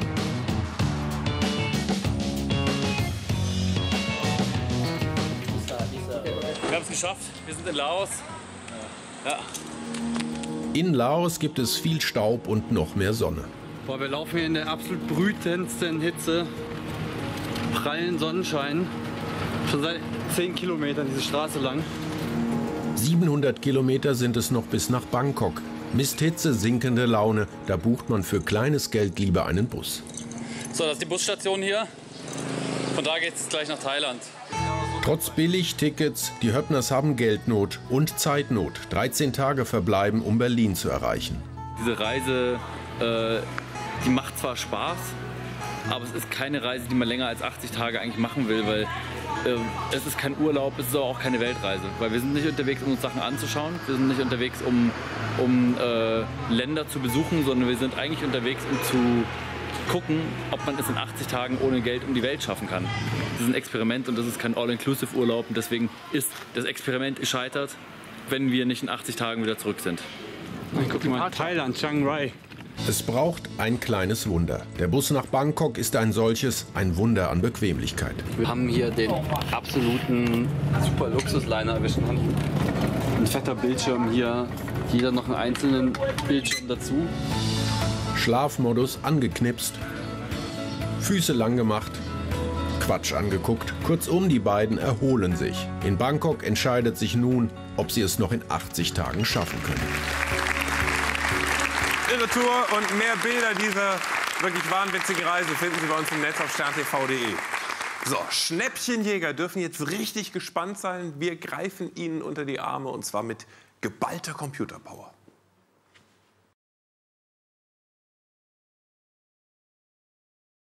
Mathematiker würden sagen, da stehen Reisedauer und Reiseetat in einem reziprok proportionalen Verhältnis. Alle anderen würden sagen, die haben einen Vogel. Das ist nicht zu schaffen. Ja, und regelmäßige Zuschauer wissen, über die Hälfte der Reisedauer ist tatsächlich schon rum. Es wird also eng und inzwischen stinkt den Zwillingen ihre Reise. Stefan Euler zeigt, was bisher geschah. Fremde Länder, fremde Sitten. Ein Zug irgendwo in China und einer hat im wahrsten Sinne die Nase voll. Ich glaube, das wird so ziemlich die schlimmste Zugfahrt, die ich jemals hatte. 28 Stunden, davon haben wir jetzt ganze vier Stunden rum und mir steht schon echt bis zum Hals. Es hat endlich angefangen, tierisch nach Käsefuß zu stinken hier. Irgendjemand hat sich vorgetraut, seine Schuhe auszuziehen und das ist wirklich nicht mehr lustig. Zur Geruchszerrung später mehr. Die Zwillinge Hansen und Paul Höppner auf Tour. Die Berliner wagen ein extremes Experiment. Ist es möglich, in 80 Tagen um die Welt zu reisen, ohne eigenes Geld? Den Versuch haben sie filmisch dokumentiert. Angefangen hat es in Berlin. Mit eigener Schmuckkreation läpperten sie sich Geld zusammen und trennten zunächst quer durch Europa. Der Wald als Hotel, die Gefahr als Begleiter. Junge, Junge, Junge, ey, war das ein Ritt. Aber immerhin sind wir weitergekommen. Nach zehn Tagen waren sie in Spanien, Trampen mit zäh fließendem Verkehr. Hansen hofft, dass sie ihn nicht für eine Nutte halten. Es folgen zwei Wochen Geld verdienen in Lissabon, dann der Sprung über den großen Teich. In Toronto heuern sie als Zimmermänner an, mit Geschick. Langsam wird's. Lohn 1400 Dollar. 4000 Kilometer geht es durch Kanada bis Vancouver. Auch dort flutscht es. Jetzt haben wir ein Jobangebot von Kai gekriegt. Es wird geschleppt und geschwitzt, dann geflogen und dann gewartet aufs Geld vom Möbelpacken. Das wäre zum Kotzen, wenn der uns verarscht hätte. Yeah, you have a job? Pleite in Tokio ist nicht witzig. Scheiß drauf. Wir betteln jetzt einfach. Doch dann hilft ein feierwütiger Kanadier mit einer Spende. 10.000. Zumindest an diesem Abend ist die Laune gerettet. Und doch fehlt den beiden noch das Geld aus Kanada, sonst ist das Abenteuer in Tokio vorbei. Zahlt Möbelpacker Kyle oder zahlt er nicht? Endlich meldet sich der Mann wenigstens. Okay, also er hat zurückgeschrieben. I hope you guys are okay. I'm sending 200 now. Just having a problem, but we'll call PayPal now. Geil, Paul. Wir können einen Flug buchen. Wir kommen weiter nach äh, Hongkong. Hongkong ruft. Prost. Fix wird gebucht, rein in den Flieger. Knapp vier Stunden Flugzeit sind es bis nach Hongkong, der nächsten Reiseetappe. Die Handelsmetropole hat einen Sonderstatus in China. Die ehemalige englische Kolonie liegt eingezwängt zwischen hohen Bergen. Hochhäuser wachsen dort wie Spargel. Hongkong. Das sieht echt mal mega geil aus da drüben, dieser Berg. Weniger geil ist die Stimme. 31 Tage Zeit haben die beiden noch bis zum Ziel in Berlin. Berechtigte Zweifel an der Machbarkeit nagen an den Nerven. Und ob man in Hongkong viel verdienen kann, ist fragwürdig. Wir zoffen uns die ganze Zeit, weil Hansen irgendwie einfach, ich aber auch, wir beide einfach so krass entnervt sind. Ich echt keinen Bock mehr. Ey. Dann ist richtig dicke Luft. Eine der Kameras ist zerdeppert und auch die Bruderschaft liegt in Trümmern. Dann hat Paul auf einmal einfach mega hohl gedreht und die Kamera auf den Boden geschmissen, die Mikrofone zerdeppert, äh, den Globus zerdeppert, äh, die Anhänger kaputt getreten, also richtig. Äh Ehrlich, du hast nicht das kleinste bisschen getan. Nichts, gar nichts, null. Nichts, um mir zu helfen, null. Stattdessen, nein, du hast das Gegenteil getan. Das absolute Gegenteil. Du hast nur noch, während ich durchgedreht bin, gesagt, Paul, du bist so ein Vollidiot. Ja, Paul, du übersiehst bei der ganzen Sache vielleicht, dass ich auch nur ein Mensch bin. Ja? Und wenn du hohl drehst und total am Kabel drehst, dass ich dann nicht im Gegensatz zu dir vielleicht meine, was weiß ich, psychologischen Tricks oder sonst was auspack. Das sind keine Psychologie-Spielchen, Hansen. Das ist so Das dieses, ist ganz dieses, normale das Umgehensweise, wie man mit Menschen hat. umgeht. Ich bin einfach auch tierisch genervt von diesem Scheißtag. Und ich habe keinen Bock, dann jemanden, der hier eine Kamera auf den Boden pfeffert und Mikrofone zerdeppert und Scheiße rumschreit, dann auch noch den Hintern abzuwischen. Fuck, so kann das nicht weitergehen. Das kann so nicht weitergehen. Richtig, so geht es nicht weiter. Aber geht es überhaupt irgendwie weiter? Wie belastet ist das Bruderverhältnis? Die finale Auflösung sehen wir gleich nach der Werbung.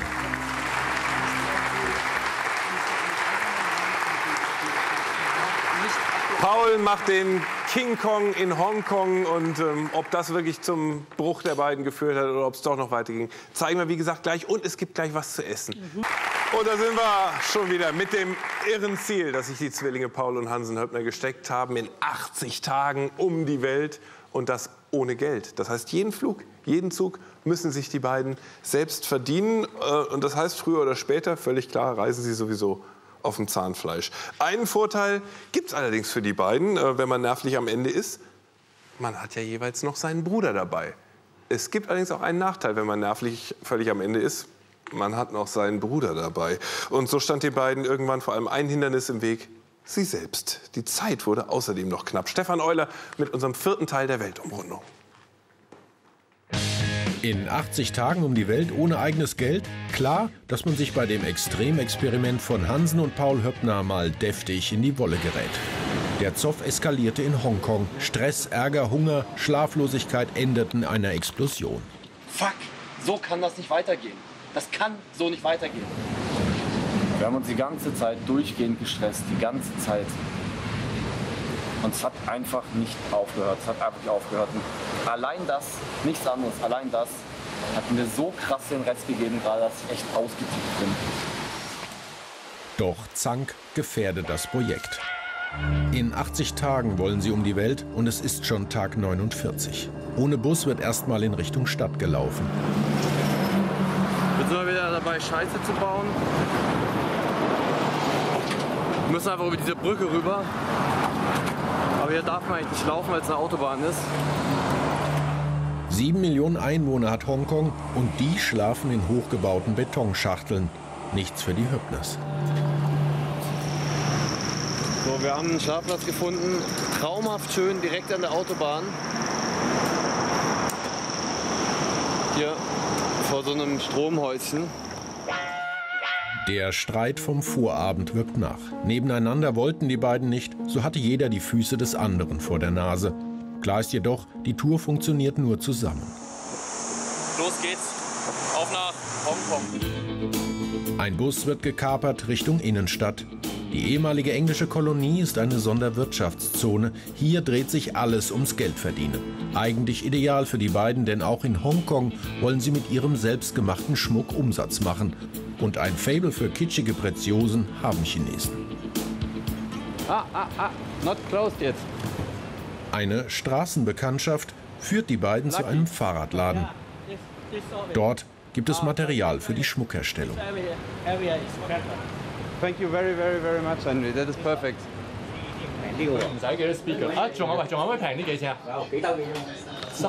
Ketten und Speichen eingepackt. Schon kann es losgehen mit der Höppnerschen Kreation.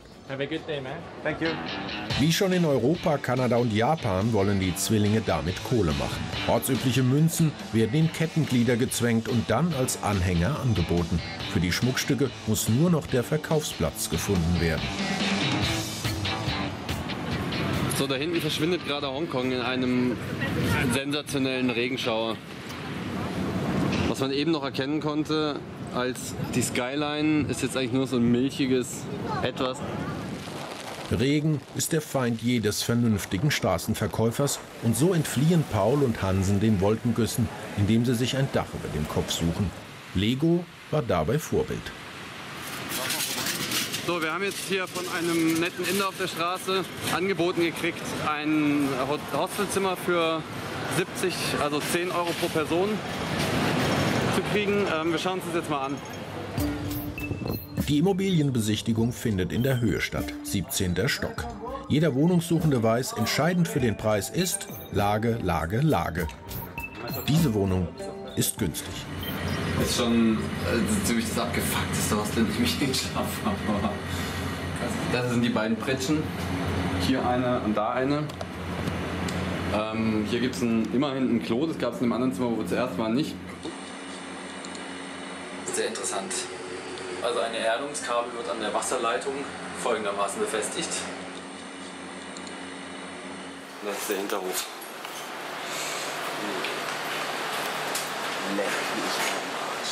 Kinder können in dieser lichtdurchfluteten Adresse nicht zum Spielen rausgeschickt werden, obwohl ein Abenteuer wär's schon.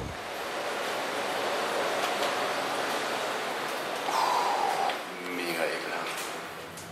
Eng, schimmelig, ohne Licht. Die Ekelbude sorgt dafür, dass alte Streitfronten zwischen den Brüdern wieder aufbrechen. Es ging die ganze Zeit nur darum, den anderen irgendwie anzupissen, anzustacheln oder anzusticheln. Die ganze Zeit nur. Durchgehend. 24 Stunden am Stück. Ist doch kein Wunder, wenn ich da keinen Bock mehr drauf habe. Deine Art ist jetzt einfach zu sagen, ich gehe auf, ich, ich, ich mache jetzt den, ich mache die Psychologenkacke. Aber Hans, lass doch doch mal auch ausreden jetzt. Ich Das hat überhaupt nichts mit Psychologenkacke zu tun. Das kannst du mal in die Haare schmieren, die Scheiße, echt. Das machst du in, auf dem Level genauso. Du willst jetzt echt, du sagst mir einfach, ich habe keinen Bock mehr auf dich. Fertig, Punkt, Strich, basta. Als eineiger Zwilling ist man ja auch dauernd mit sich selbst unterwegs. Und wer ist sich nicht schon mal selbst auf den Keks gegangen? An Tag 52 ziehen sie aus und tauchen ein ins Nachtleben. Geld schläft nie. Ab in die Touristen. Äh, wie sagt man da? Zone.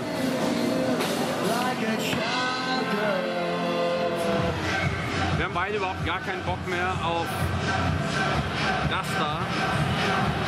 Wenn wir es noch schaffen will in 80 Tagen, müssen wir jetzt die Backen zusammenkneifen und einfach wirklich mal einen sauren Apfel beißen. Und in diesem schrecklichen Ballermann 6 Party Area äh, Geld verdienen. Die nächsten Tage machen sie, was alle in Hongkong machen wollen, Umsatz. Der Reisesäckel wird aufgefrischt auf 3200 Hongkong-Dollar, etwa 370 Euro. Gewohnt wird derweil am Strand. Leider beginnt der Verkehr dort früh und quietscht grausam. Nach einigen Tagen steht der Fahrer des Quietschedings auf der Mordliste der Höppners. Chinesen bewegen sich gerne früh sind elastisch und oft bewaffnet. Zudem werden sie im Leben grundsätzlich zu allem angeleitet. Ich das Gefühl, das ist so ein schlechter Science-Fiction-Future-Film, ne? So, äh, unterwegs in einem Land von Menschen, die nicht mehr selber denken können. Da oben hängt ein Schild. Weißt du, an der unmöglichsten Stelle hängt ein Schild, wirklich für diesen Träger, der da hängt. Be careful head collision. Also man könnte seinen Kopf da anschlagen. Ich frage mich echt, wie in Teufels Namen man da oben seinen Kopf anschlagen soll. Da muss man da ja rumturnen, an einer Stelle, an der man eh nichts zu suchen hat. Es wird Zeit, weiter ins chinesische Landesinnere zu reisen. Wir packen jetzt zusammen und schauen dann mal, wann der Bus nach Kunming oder der Zug nach Kunming fährt. Und wenn der heute noch fährt und wir den noch kriegen können, dann nehmen wir den noch, weil wir haben beide so ein bisschen genug von Großstadt jetzt gerade. Na du Waschweib? Es soll hier nicht näher erläutert werden, wie Klamotten riechen, die man ständig durchschwitzt. Nach Stunden im Bus landen das Waschweib und Paul in der 10-Millionen-Stadt Shenzhen. Per Zug wollen sie in die 5-Millionen-Stadt Kunming. Problem, wie erklärt man, wohin man will? Keiner spricht Englisch. Ticket to Kunming. Kunming?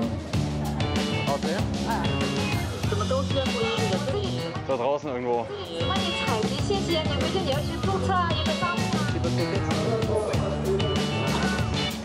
Ähm, äh, Kunming. Danke. Thank you.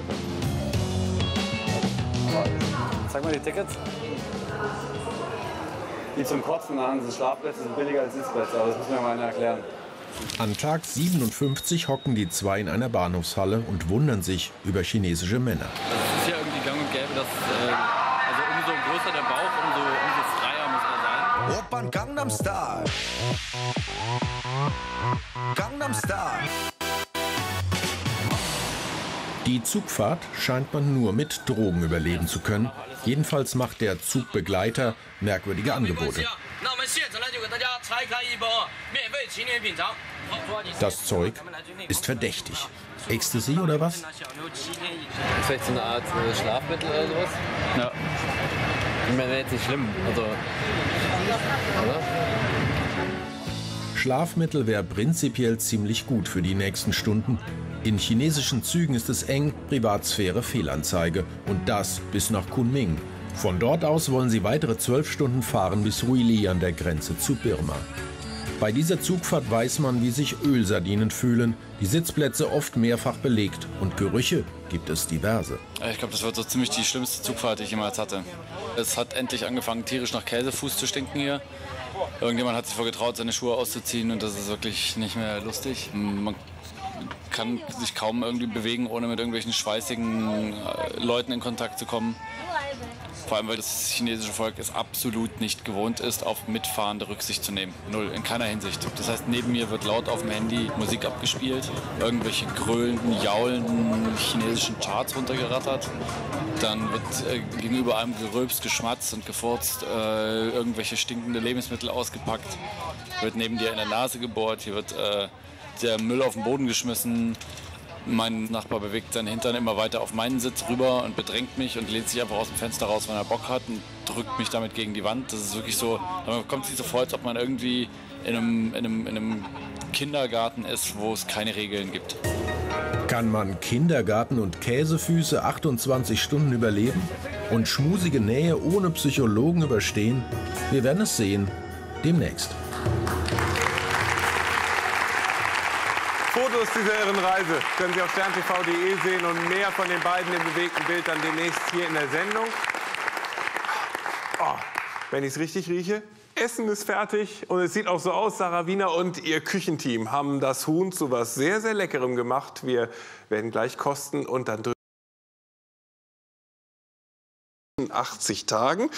Das erscheint machbar, aber die beiden nehmen nicht einen einzigen Cent Erspartes mit auf die Reise. Das heißt, jeden Kilometer der Reise, jedes Ticket, jeden weiteren Schritt müssen sie sich unterwegs erarbeiten. Und das erschafften, obwohl so langsam für die beiden die Zeit knapp wird. Also reisen Paul und Hansen eher in der Holzklasse und im Zug durch Indien dann auch irgendwann auf dem Zahnfleisch. Es ist momentan wirklich so, dass Hansen und ich ausgebrannt sind. Uns rennt die Zeit weg. Und dieses ständige Wiederaufbrechen, wieder versuchen Geld zu verdienen, das geht mir so krass auf den Sack mittlerweile. Tja, da fährt man so weit weg und begegnet am Ende eben doch sich selbst. Das ist eine spannende Etappe für die Zwillinge Paul und Hansen nach der Werbung. Und außerdem haben wir dann noch das für Sie. Willkommen zurück bei Stern TV. Also mal, mal angenommen, man will einmal um die Welt reisen in 80 Tagen, wie bei Jules Verne. Und mal angenommen, man will dafür ganz, ganz wenig Geld bezahlen. Also sagen wir mal gar nichts. Dann braucht man stattdessen vielleicht ein paar Talente, man braucht eine Portion Mut, man braucht vielleicht etwas Wahnsinn, ein bisschen Naivität und am besten einen Reisegefährten, der einem in diesen Punkten möglichst ähnlich ist. Und Paul und Hansen Höppner, die sind sich eigentlich in allen diesen Punkten sehr ähnlich. Die sind nämlich Zwillinge. Und gemeinsam haben sie dieses Abenteuer auf sich genommen, das wir seit einigen Wochen begleiten. In 80 Tagen um die Welt ohne Geld. Los geht's in Berlin. Mit dem Verkauf von Schmuck wollen sie sich finanzieren. Als Ticket allerdings dient erstmal der Daumen. Und sie kommen voran, rasend schnell. Junge, Junge, Junge, ey, war das ein Ritt. Aber immerhin sind wir weitergekommen. Quer durch Europa führt sie der Weg bis nach Lissabon. Dort verdienen sie sich Geld für den Transatlantikflug nach Toronto. Sie jobben als Zimmermänner, bekommen dort 1400 Dollar Cash. Weiter geht's nach Vancouver und von dort nach Japan. Ein Kanadier hilft mit Geld. 10.000. Ein Prost darauf und ab nach Hongkong. Dort verdienen die Höppners wieder Geld in den Touristenvierteln, bis es für ein Zugticket nach China reicht.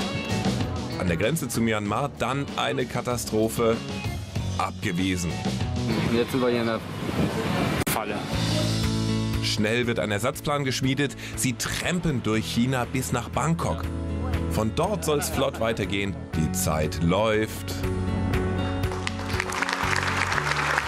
Und das Bemerkenswerte, das, das wirklich Bemerkenswerte dabei, Paul und Hansen dokumentieren die gesamte Reise selbst mit ihren Kameras. Stefan Euler macht dann hier daraus ein filmisches Reisetagebuch. Hier ist Teil 6. Nach tagelangem Umweg durch China versuchen die Brüder nun von Bangkok aus fix weiterzukommen. Erstmal wollen sie aber umsonst wohnen. Um, I have a question for you. We're traveling around the world in 80 days and we try to make it without money.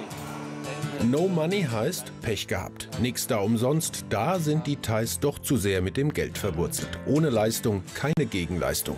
Tag 69 fängt schlecht an. Also wieder leider kein Erfolg, aber nicht aufgeben ist die Devise. Böse Blicke, unverständliche Blicke, damit muss man jetzt klarkommen. Ähm, Klar ist, Geld muss her. Umgerechnet 12 Euro haben sie noch. Das Kapital vermehren wollen sie mit Schmuckverkauf. Ein abenteuerlicher Laden beflügelt den Geist der Tüftler. alter Schwede, ey. Unter den Abermillionen Kugeln findet sich eine passende für die Höppner-Idee. Die Brüder wollen Kronkorken abrunden. Dazu wird eine Aluplatte als Form bearbeitet. In einer Kuhle werden die Verschlüsse planiert.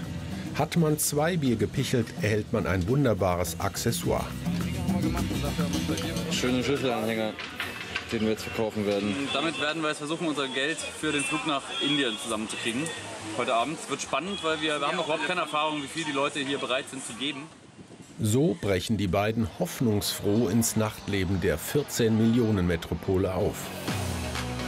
Hotspots hat Bangkok viele, Touristen hat Bangkok viele, Schmuckinteressenten auch. Aber ebenso zahlreich sind die Geizkragen. Also, wir haben ein Problem. Die Leute geben nur verdammt wenig Geld. Weil die thailändische Währung so wenig wert ist, dass man halt einfach mal 100 Baht, eigentlich ist es nicht genug für so ein Souvenir. Ne? 100 Baht sind halt gerade mal 3 Euro. Ne? Und äh, für 100 Baht, dann müssten wir quasi 200 von diesen Anhängern verkaufen. Das geht einfach nicht. 80 Tage war der Plan, doch ausgeplant. Ohne Geld kleben die beiden in der Stadt fest. Es braucht ein Wunder. Beim Frustessen lernen die beiden dann Nam kennen, eine junge Frau aus Südthailand. Was die Höppners beim Quatschen nicht richtig erkennen, Nam könnte das Wunder sein. Könnte. Das Verrückte, was es tatsächlich ermöglichen könnte, einfach in ein paar Tagen noch zu schaffen, ist ein Angebot von ihr, was vielleicht einfach das Wunder sein könnte, auf was wir gewartet haben. Sie hat uns jetzt gerade eingeladen zu ihrer Familie. Sie wäre sich ziemlich sicher, dass ihr Vater die Rückreise zahlen würde. Thank you very much. That's so nice of you, really. So, jetzt haben uns die beiden tatsächlich noch angeboten, äh, uns einen Schlafplatz zu organisieren. Diesen Schlafplatz suchen sie später auf, aber zunächst der essensgestellte Versuch zwischen Entrückten, Kohle zu machen. Reich wird man in Bangkok mit niedlichen Schlüsselanhängern niemals. Also ich glaube, für heute ist die Luft raus. Wir haben auf ein Wunder gehofft, aber ich glaube, das Wunder ist nicht gekommen, Hansen. Das Einzige, was jetzt noch passieren kann, ist, dass wir Glück haben und äh, wir fahren nach Kuala Lumpur. Wenn die Flüge auf Kuala Lumpur so viel billiger sind, dann wird das Leben da auch noch viel billiger sein. Und dann werden da noch weniger Leute sein, die Geld bereit sind auszugeben. Willst du jetzt unbedingt schwarz sehen Nein, oder nein, was? aber nein, nein, fällt mir gerade Das ist ein. totaler Bullshit. Komm, bitte, komm, ey. Du hast, du hast, Hans, bitte, bitte, bitte. Komm, bitte. Hans, du hast doch selber gesagt. Das Nervenkostüm extrem dünn. Ich habe mich gerade tierisch mit Paul gezofft. Aus einem total bescheuerten Grund. Also ich würde diese Tour jetzt sofort beenden und einfach direkt zum Flughafen gehen und mir den nächstbesten Flug kaufen. Ich weiß nur auch, dass ihr überhaupt keine Möglichkeit habt, sie zu beenden jetzt. Zumindest nicht ohne mich zu kontaktieren.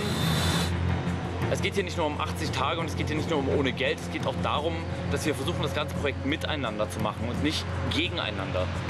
Wenn er sich so von mir verabschiedet und so die Tour abbrechen will, dann sollst du mir das versuchen, aber er wird nicht allzu weit kommen. Aber mit Paul will ich ehrlich gesagt nichts mehr zu tun haben, wirklich nicht. Zwei Brüder im biblischen Zorn. Nams Schlafplatzangebot war das buddhistische Friedenszentrum und Buddhas Vibrationen sorgen dann auch für Versöhnung. Die Zwillinge wollen Nams Einladung annehmen. Sie hat uns angeboten, dass wir da ein paar Tage entspannen können. Ich glaube ganz ehrlich, auch nach dem Streit, den wir gestern hatten und nach dem, wie es hier gerade läuft in Bangkok, dass so zwei Tage oder ein Tag wirkliche Pause uns extrem gut tun würde. Aufbruch zu Nam nach Südthailand. 41 Euro sind im Säckel. Die Reise machen sie mit der Bahn. Leise Hoffnung ist zurück. Sieben Tage Zeit bleiben noch. Man darf auch den Mut nicht verlieren bei sowas. Man muss immer allen Möglichkeiten irgendwie nachgehen. Und wenn man 20 Mal damit auf die Fresse fliegt und es nur einmal klappt, dann klappt dieses eine Mal nur deswegen, weil man 19 Mal versucht hat, ob es tatsächlich steht, das Angebot oder nicht. Nams Angebot klang wie ein Lottogewinn. Frei wohnen und essen und möglicherweise ein Vater mit Füllhorn, der den Höppners einen Flug bezahlt, kaum zu glauben. Ich tue mir sicherlich auch ein bisschen schwer, das so zu glauben, dass sie ähm, uns das einfach so anbietet, beziehungsweise dass ihr Vater das tatsächlich machen würde, weil es sind einfach immerhin fast mal 800 Euro, die man jemand wildfremden gibt. Und das ist ein Thailänder, also für den ist Geld nochmal eine andere, ähm, sind- sind 800 Euro nochmal eine andere Dimension. Auch in Thailand jedoch gibt es Reichtum und der Zufall hat die Zwillinge in puren Luxus katapultiert. Mitten rein in eine Wellness-Oase. Du mal die Dusche anschauen? Dazu gehört auch, dass man mal so richtig durchgeknetet wird. Thai-Massage gnadenlos. Und Hansen? Lebst du noch? Hansen ist direkt eingepennt.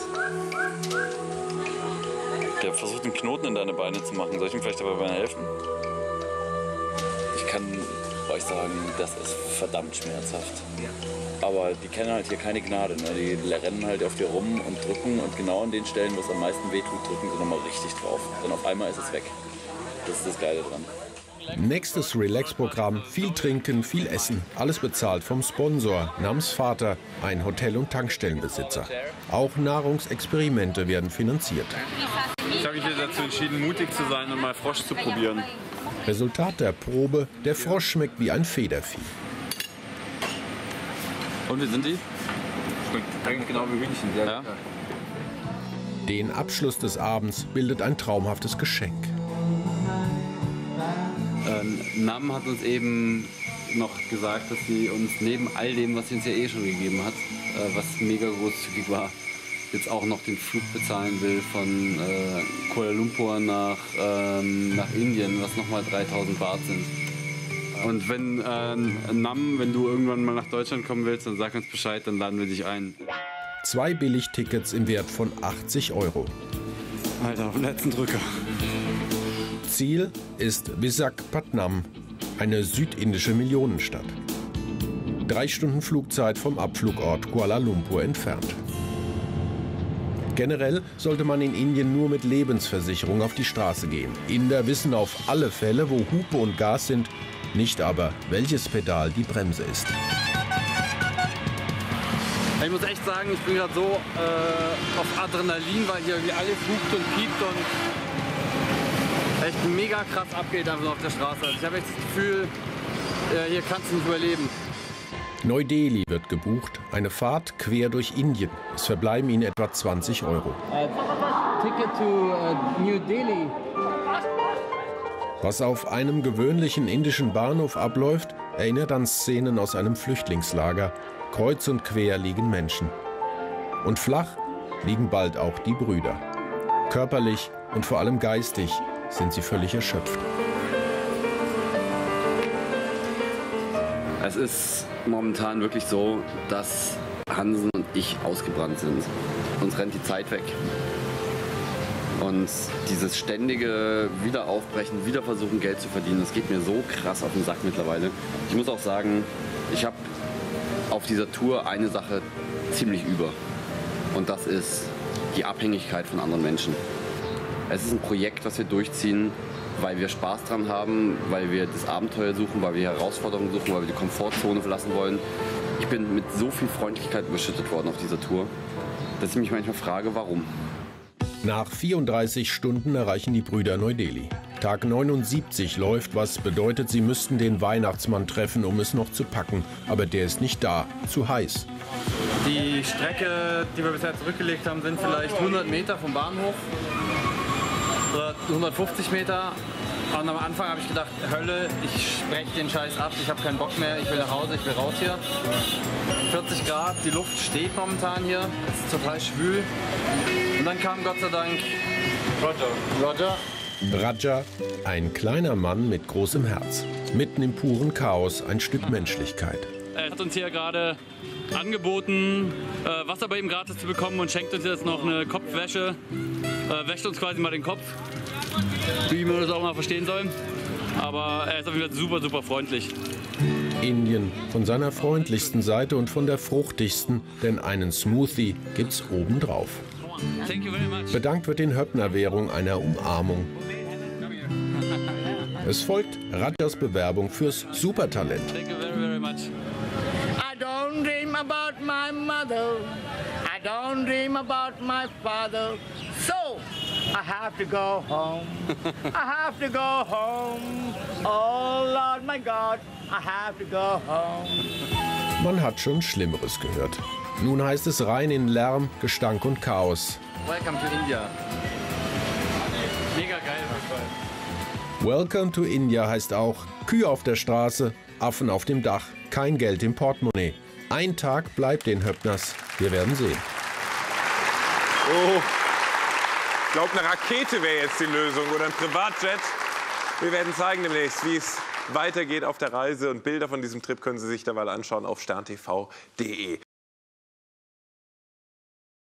Willkommen zurück hier bei Stern TV. Es ist ja so, nicht, nicht jede Schnapsidee lässt sich dann am Ende wirklich mit zu viel Schnaps rechtfertigen. Äh, zum Beispiel die Idee, nach Shanghai zu fahren. Mit dem Fahrrad. Von Berlin aus. Schlappe 13.600 Kilometer. Die Zwillinge Paul und Hansen Höppner, die haben es einfach mal gemacht und uns vergangenes Jahr hier bei Stern TV die atemberaubenden Aufnahmen davon gezeigt. Also das war wirklich alles andere am Ende als eine Schnapsidee. Und auch der nächste Plan von ihnen, der entstand völlig nüchtern. In 80 Tagen um die Welt, komplett ohne Geld. Äh, ja, das war eine wirklich wilde Reise und die Höppner Zwillinge haben gesagt, wir machen das. Brauchte hinterher dann allerdings schon ein paar Schnäpse, um zu verdauen, was daraus geworden ist. Wir alle hier bei Stern TV können seit Wochen mitreisen, denn auch diesmal gehören Kameras zum Reisegepäck. Los geht's in Berlin. Mit dem Verkauf von Schmuck wollen sich die Zwillinge finanzieren, fortbewegen per Anhalter. Quer durch Europa führt sie der Weg bis nach Lissabon. Sie verdienen sich Geld für den Transatlantikflug nach Toronto. Dort arbeiten sie als Zimmermänner für 1400 Dollar bar auf Tatze. Damit geht's nach Vancouver und weiter nach Japan. 10.000. Ein verrückter Kanadier hilft mit Geld. Ein Prost darauf und ab geht's nach Hongkong. Wieder Schmuckverkauf an Touristen. Die Weiterreise genießen die Höppners dann in knallvollen Zügen. Der Grenzübertritt nach Myanmar, eine Katastrophe, abgewiesen. Plan B wird geschmiedet. Erst wieder Daumen raus, dann mit dem Zug. So erreichen sie Bangkok und danach Kuala Lumpur. Ein Billigflug bringt sie nach Indien. Dort erleben die Zwillinge hautnah, was Armut und Chaos bedeuten. Ja, hier kannst du nicht überleben. Weiter geht's nach Delhi, allerhöchste Eisenbahn. Die 80-Tage-Marke rückt sehr nahe. Ja, sehr, sehr nah, sogar verdammt nah möchte man sagen. Eigentlich brauchen die Höppners jetzt ein Wunder. Und stattdessen folgt eine Katastrophe, über die wir gleich auch sprechen werden, wenn Sie mich hier im Studio besuchen. Aber erstmal Stefan Euler mit dem Weltreisefinale. Ein Stich, eine Sirene und ein schwerkranker Patient namens Hansen Höppner. Krankenalarm in Russland. Und dann hoffe ich, dass es Hansen morgen richtig viel besser geht. Es sieht nicht danach aus. Die Zwillinge Hansen und Paul Höppner bei ihrem extremen Experiment. Kann man in 80 Tagen um die Welt reisen, von Berlin nach Berlin, ohne eigenes Geld? Ihr Wagnis haben sie filmisch dokumentiert. Und heute ist 80 und wir sind zurück in Berlin. Das ist eine glatte Lüge. Die beiden sind immer noch in Delhi, eine Stadt, in der Fußgänger nicht alt werden. Er kriegt das schon Muffensausen, manchmal will ich auf einen zurasen, ohne ihn zu bremsen, aber anders kommt mir nicht rüber. Tag 80 in Delhi heißt leider, das ursprüngliche Experiment ist gescheitert. Die neue Marke, die die beiden sich vorgenommen haben, sind 100 Tage. Aber auch dazu muss man Geld sammeln. Nur wie und wo? Es hört sich an, als ob sie Freiheit schreien würden, ne? Die Freiheit zur kreativen Weiterbildung treibt die Brüder in eine winzige Schmuckfabrik. Indische Drahtkunst. Diese Perfektion kann neidisch machen. Wir sind hier eingeladen worden in eine Art Goldschmiede bzw. Drahtwerkstatt. Und die machen hier in Serie ähm, Schmuckstücke, die sie auf der Straße verkaufen. Also eigentlich ähnliche Sachen, wie wir bisher gemacht haben. Er ist eigentlich der Master von dem, was wir machen. Ne? Hansen, genau, er ist der absolute Meister von dem, was wir machen. Und ähm, er beäugt jetzt kritisch, was Hansen da komisches macht. Und ähm, Hansen versucht ihn die ganze Zeit mit irgendwelchen Ideen zu beeindrucken, aber das Einzige, wie er immer reagiert, ist, ja, ja, das habe ich vor zehn Jahren schon gemacht. Man kann immer was dazulernen, irgendwo in Indien, in irgendeiner Bude. Er hat gerade diese beiden Drahtstücke gebogen, separat voneinander und die sind beide genau gleich, haargenau gleich. Das ist crazy.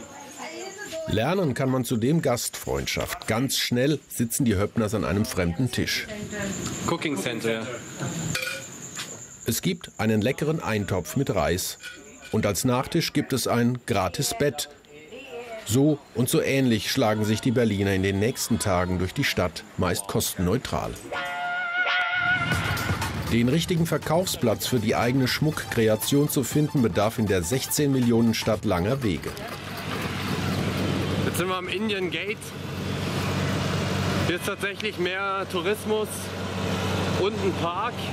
Im Park basteln sich die Brüder dann eines ihrer Sparmenüs. Es gibt ähm, äh, Weißbrot mit Tomatenmark und Banane und Weißbrot. Das Essen darf man langweilig nennen. Spannend dagegen sind die Höppners selbst. Zwei kleine exotische Zootiere im Gehege. Und die Zoobesucher strömen zur Attraktion. Wo viele Leute sitzen, gibt es was Interessantes zu sehen und da kommen noch mehr Leute dazu. Es kommen noch mehr Leute dazu. Jetzt wird es echt langsam richtig viel, Alter. Doch zurück zum Höppner-Business. Da in Indien eher Gold als Draht angesagt ist, darf man das einheimische Interesse schleppend nennen. Das ist einfach äh, echt hart, glaube ich. Um im Amüsierviertel zu verkaufen, müssen sie oft mitten durch die Stadt tuckern. Per Tuk-Tuk, zu Fuß und per Taxi. Und da lernt man den Inder kennen. Hier gibt niemand freiwillig nach. Jeder hat recht. So, die Stausituation vor uns ist folgendermaßen. Einer kommt von links, einer kommt von rechts. Die sind jetzt auf Stoßstange aneinander rangefahren, sodass keiner mehr durchkommt. Also jetzt momentan ist ja, glaube ich, nichts mehr zu machen. Zehn Tage treiben sie sich in den Gassen Delis rum, zwischen heiligen Kühen Leute beschwatzen, im Nachtleben Geld verdienen. Es läppert sich zusammen. Am Ende haben sie das Geld für den Flug nach Kirgisistan zusammen, 350 Euro. Geile Scheiße, Alter. Wir zusammen, ey. Einen touristischen Höhepunkt wollen die Brüder aber noch abhaken. Die größte Moschee der Stadt, Jama Masjid. Vorbei an Gewürzhändlern geht es zu dem jahrhundertealten Bau. 20.000 Menschen können dort gleichzeitig beten. Die Minarette sind 40 Meter hoch. Die Treppe ist echt mega hoch. Aber jetzt haben wir es geschafft. Ja, von hier oben hat eine unglaubliche Sicht über Delhi, wie man schon äh, erkannt hat. Und wir müssen jetzt aber leider los, weil das Abendgebet jetzt gleich kommt. Da müssen alle Ungläubigen aus der Moschee draußen sein. Das ist auf jeden Fall eine große Ehre und auch mega geil, dass wir das noch gemacht haben. Ich bin echt froh, dass wir wenigstens einmal so eine richtig geile Aktion hier, in, also touristische Aktion mitgemacht haben. Schluss mit der Faulenzerei. Weiter geht es Richtung Heimat. Der Flug nach Bischkek dauert vier Stunden. Bischkek ist die Hauptstadt Kirgisistans und hat als ehemalige Sowjetrepublik postkommunistischen Charme. Mit umgerechnet 54 Euro kommen die Höppners dort an. Ich meine mich aber zu erinnern, dass es in Kirgisistan so ist, dass der Daumen nach oben eine Beleidigung ist. Und ähm, deswegen gehen wir uns auf Nummer sicher und schreiben lieber mal ein Schild. Die Nummer sicher beim Trampen wirkt Wunder. Kaum ist das Schild gezückt, sitzen sie schon in einer Karre. Kirgisen helfen gerne. Die fahren tatsächlich bis zur Grenze. Das heißt, wir schaffen es halt noch bis zur Grenze. Ähm, Granica. Sie fahren die Nacht durch, ins Morgengrauen, ins Helle. My name is Paul. Paul? Paul. Yes. Okay, Paul. Hunderte Kilometer dann auch durch das benachbarte Riesenland Kasachstan. Mit einem Mann namens Oleg haben sie sehr viel Spaß.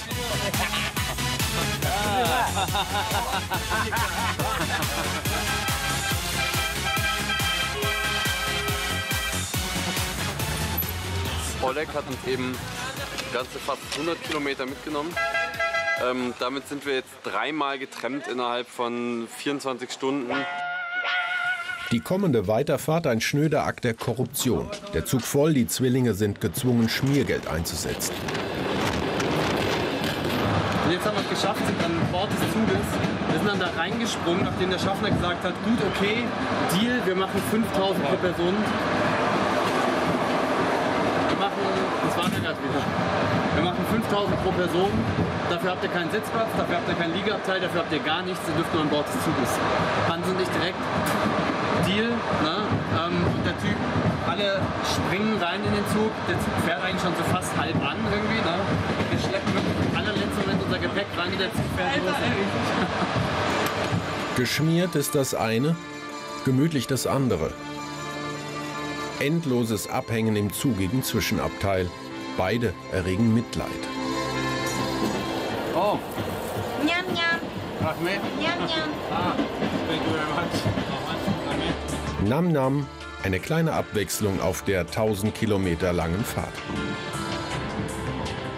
Vorbei an Mausoleen, durch die Abendsonne, rein in Putins Reich.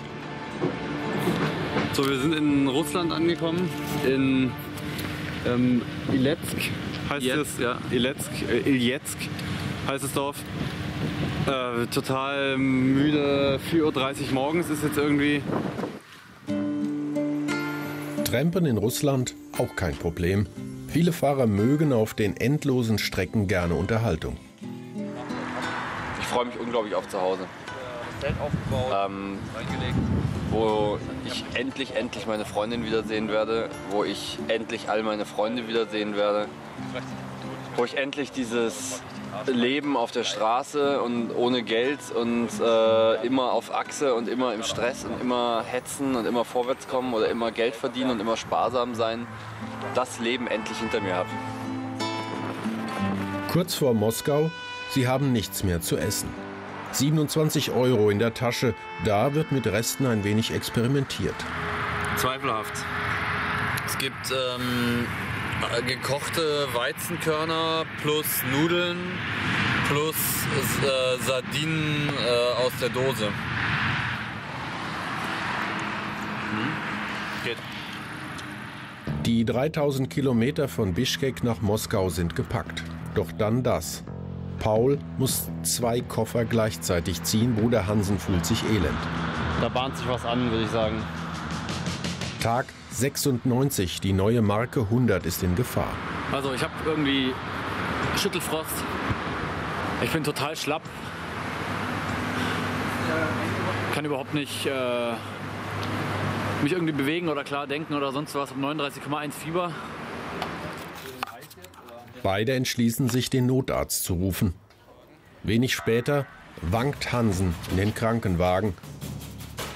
Eine fiebersenkende Spritze in den Po, Blaulicht an und ab ins Hospital.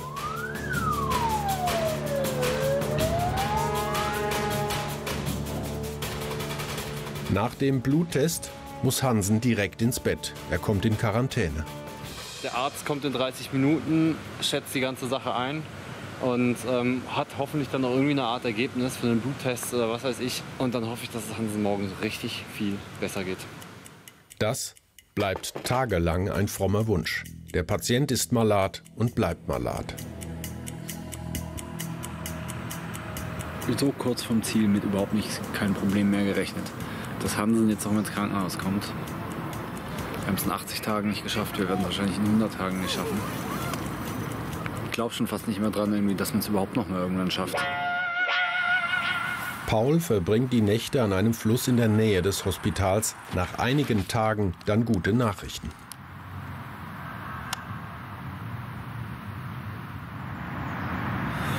Alter, es geht ihm besser.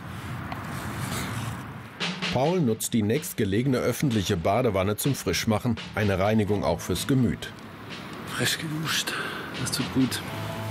Zwilling Hansen macht zur selben Zeit dasselbe und redet dasselbe. Frisch geduscht, mal wieder gut. Gerade geht es mir eigentlich so gut, dass ich sagen würde, ich könnte auch weiter trampen. Es ist mega spannend jetzt eigentlich, ob die Hansen rauslassen. Oder ob es tatsächlich so eine Art Quarantäne-Knast ist auch. Kommt er? Kommt er nicht? Paul ist unruhig. Dann Mütze vom Ständer, Weg gezeigt.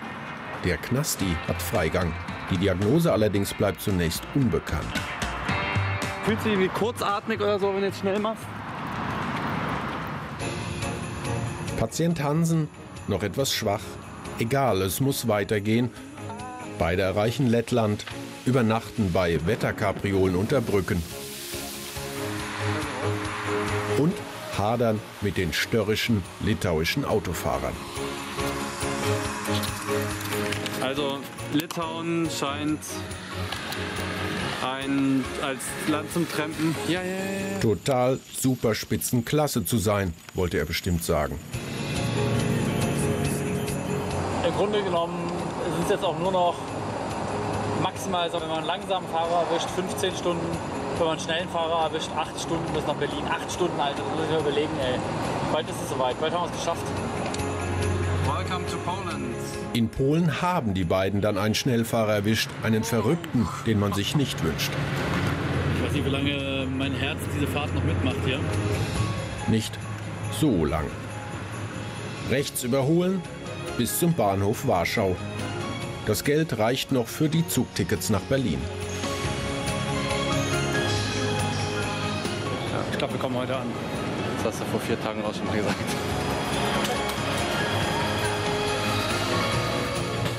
Wir sitzen tatsächlich im Zug am richtigen Platz in die richtige Stadt. Und so wie es aussieht, fährt er auch tatsächlich nach Berlin.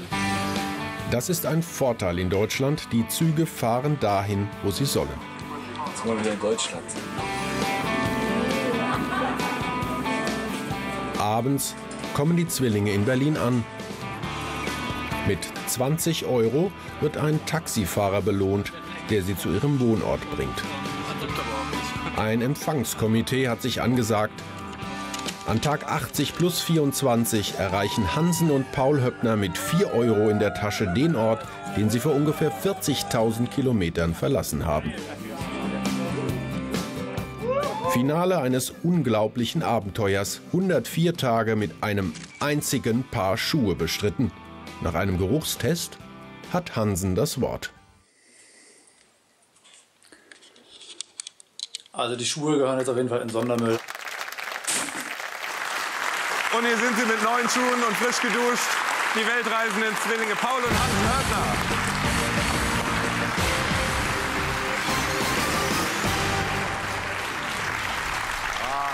Klasse, auch so. Gut eingeübt.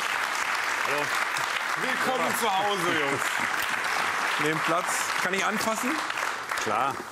Looking for a miracle. Ja.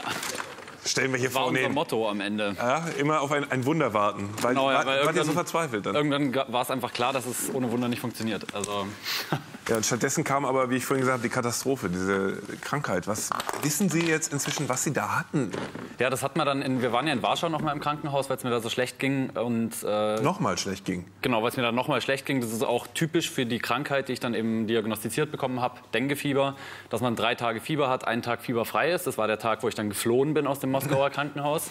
Und dann kam es aber eben in Warschau wieder, da war ich dann nochmal drei Tage und dann sind wir äh, nach Berlin weitergefahren und es war eben Denguefieber. Das ist eine Krankheit, die man sich in den Tropen einfängt, es wird von einer Mücke übertragen und ähm, Und ist das so wie Malaria, was das bleiben kann oder auch Nee, es- lebensbedrohlich werden kann? Das kann, es kann lebensbedrohlich werden, wenn man es nicht behandelt und wenn man es mehrfach bekommt. Also beim zweiten Mal ist es gefährlicher, beim dritten Mal ist es dann schon sehr gefährlich. Aber im Grunde ist es, kann man eigentlich sagen, eine heftige Grippe mit heftigen Gliederschmerzen, die 14 Tage lang andauert. Das heißt, für Tropenreisen sind Sie jetzt angezählt. Sie machen nur noch so Sachen wie auf, auf Rollschuhen durch Sauerland oder so. jetzt. Okay, aber gut, dass Sie gesund nach Hause gekommen sind. Ich habe ohnehin, ehrlich gesagt, zwischenzeitlich nicht damit gerechnet, dass Sie beide überhaupt noch mal zusammen hier in dieses Studio kommen. Weil da sind so die, dermaßen die Fetzen geflogen. Kann es sein, dass die Krankheit am Ende Sie dann auch wieder ein bisschen hat zusammenrücken lassen? Ja, also ich, es ist allgemein, glaube ich, immer so, dass in Situationen, wo es dann tatsächlich ernst wird, also wo man merkt, dass äh, Gesundheit in Gefahr ist oder vielleicht sogar Leben oder ähm, ähnliche Situationen, dass wir dann eigentlich immer streitfrei auch zusammenhalten. Wo wo man anfängt, sich zu streiten, ist immer dann, wenn man es sich leisten kann, theoretisch. Also, und das braucht man auch wirklich ab und zu. Also, man sieht ja auch in den, in den Teilen, die wir in den letzten Wochen hier gesehen haben, immer wieder, dass wir uns mal fetzen. Und ich muss auch ganz ehrlich sagen, alles andere, das anders darzustellen, wäre einfach falsch. Weil wenn man auf so eine Reise geht, unter solchen extremen Bedingungen, dann liegen irgendwann zwangsläufig die Nerven blank. Und dann muss man sich fetzen. Und wenn man dann jemanden hat, mit dem man das auch richtig gut kann, dann ist es umso besser. Also das ist ein richtig befriedigendes Gefühl. Fast therapeutisch und wir durften auch noch alle dabei sein, weil Sie ja immer die Kameras angemacht haben. Muss man das lernen, vor der Kamera zu streiten? Ja, es ist eigentlich, äh, wir haben sehr oft gestritten und sehr oft war die Kamera auch nicht an. Ne?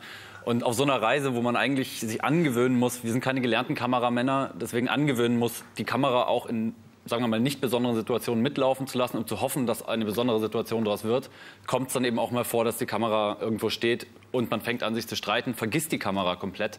Und dadurch wird das dann eben auch authentisch, kommt das authentisch rüber. Weil ich bin wirklich ein grottenschlechter Schauspieler. Wenn ich das nachstellen würde, das würde hier sofort jeder merken. Also Was ich ganz erstaunlich fand, das haben Sie irgendwann auf einer Etappe erzählt, was Sie wahnsinnig belastet und genervt hat, war ja jetzt nicht das mittelmäßige Essen, die miesen Absteigen oder das Zelten neben der Autobahn oder sonst was. Was, was war wirklich belastend?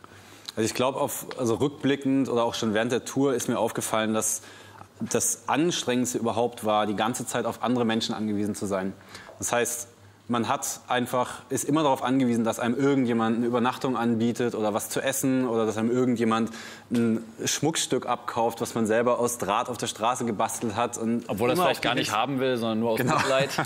Es ist immer die Hilfsbereitschaft der anderen Menschen, die einen letztendlich weiterbringt, wenn man das versuchen will, ohne Geld zu machen sozusagen.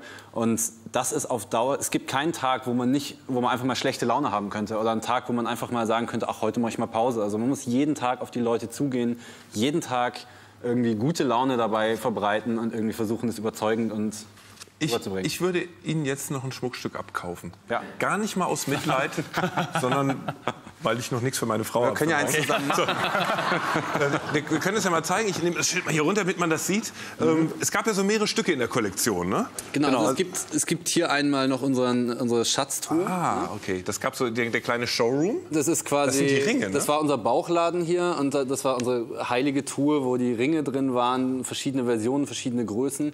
Hier oben wurde immer das beste Schmuckstück platziert Aus so sozusagen. Felgendraht gebogen oder Genau. so. Ne? Alles, was man auf der Straße findet halt. So, und was ist das jetzt hier? Das mit den Kugeln? Das, ähm, Das war, eine, genau. das war eine Idee, die wir in Bangkok hatten.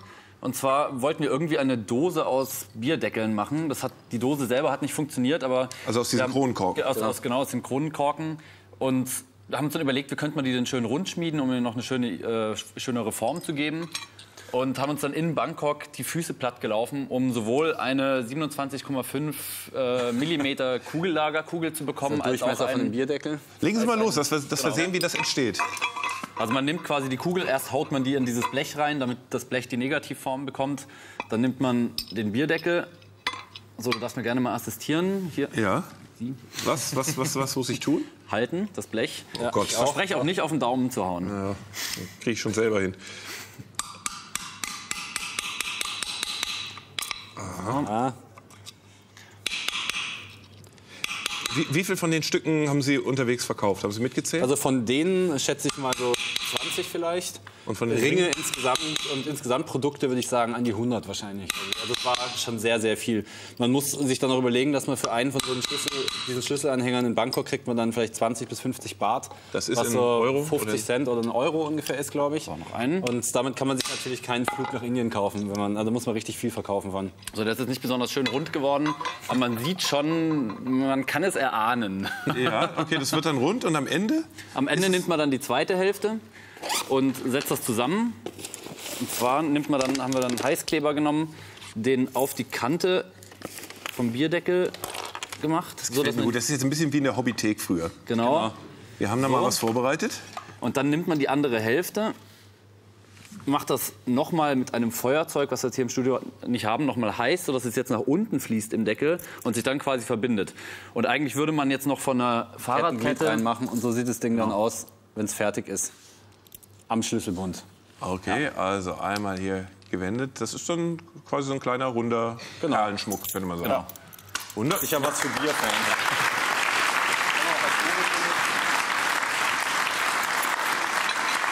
Ja, wunderschön. Setzen wir uns noch einen Moment. Ähm, Ich nehme mal an, wenn man dreieinhalb Monate um die Welt gereist ist in, in solche Länder, dann kommt man ja nicht wie aus dem Lanzarote-Urlaub zwei Wochen zurück und alles ist am nächsten Tag wie immer. Ähm, Was hat sich verändert in Ihrem Leben durch die Reise oder romantisiere ich dazu sehr? Also es ist natürlich, es ist nie so, dass man von der Weltreise zurückkommt und das, was man sich während der Weltreise vorstellt, dass sich ändern würde, dass sich das auch alles ändert. Es fällt immer sehr viel wieder zurück in den Standard.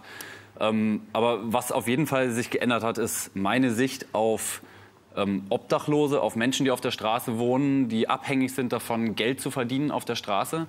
Das ist, wir waren zwar nicht wirklich hundertprozentig abhängig, weil wir natürlich äh, im größten Notfall einen Ausweg gehabt hätten.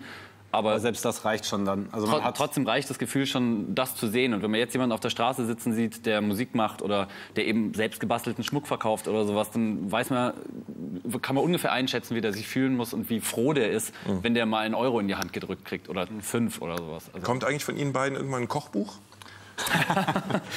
ja. Weißbrot mit Tomatenmark und Banane und andere Köstlichkeiten? Nein. Ja. Also in der Tat, Essen- mit Tomatenmark hatten wir auch schon Irre kalt. Gerichte. Also äh, für eine Kochshow wird es taugen. Ich glaube, die Geschichten, die Sie ansonsten erlebt haben, die kommen irgendwann zwischen zwei Buchdeckel. Und wir haben die äh, Geschichte der Weltreise auch nochmal auf sterntv.de für Sie, auch mit weiteren tollen Bildern dieser wirklich beeindruckenden Reise. Ich sage ganz, ganz äh, dickes Dankeschön, dass wir alle dabei sein konnten bei diesem Experiment, bei diesem ja, im Grunde eindrucksvollen Erlebnis. Danke und alles Gute für die weiteren Projekte. Bleiben Sie ruhig sitzen. Ja, bleiben Sie sitzen. Ja Ich habe dann aber noch, Ihre Frau schaut hoffentlich nicht zu Nein, mit ein Geschenk für Ah, Frau. toll. Super. Danke. Hat niemand gesehen, Weihnachten ist gerettet. Tausend Dank.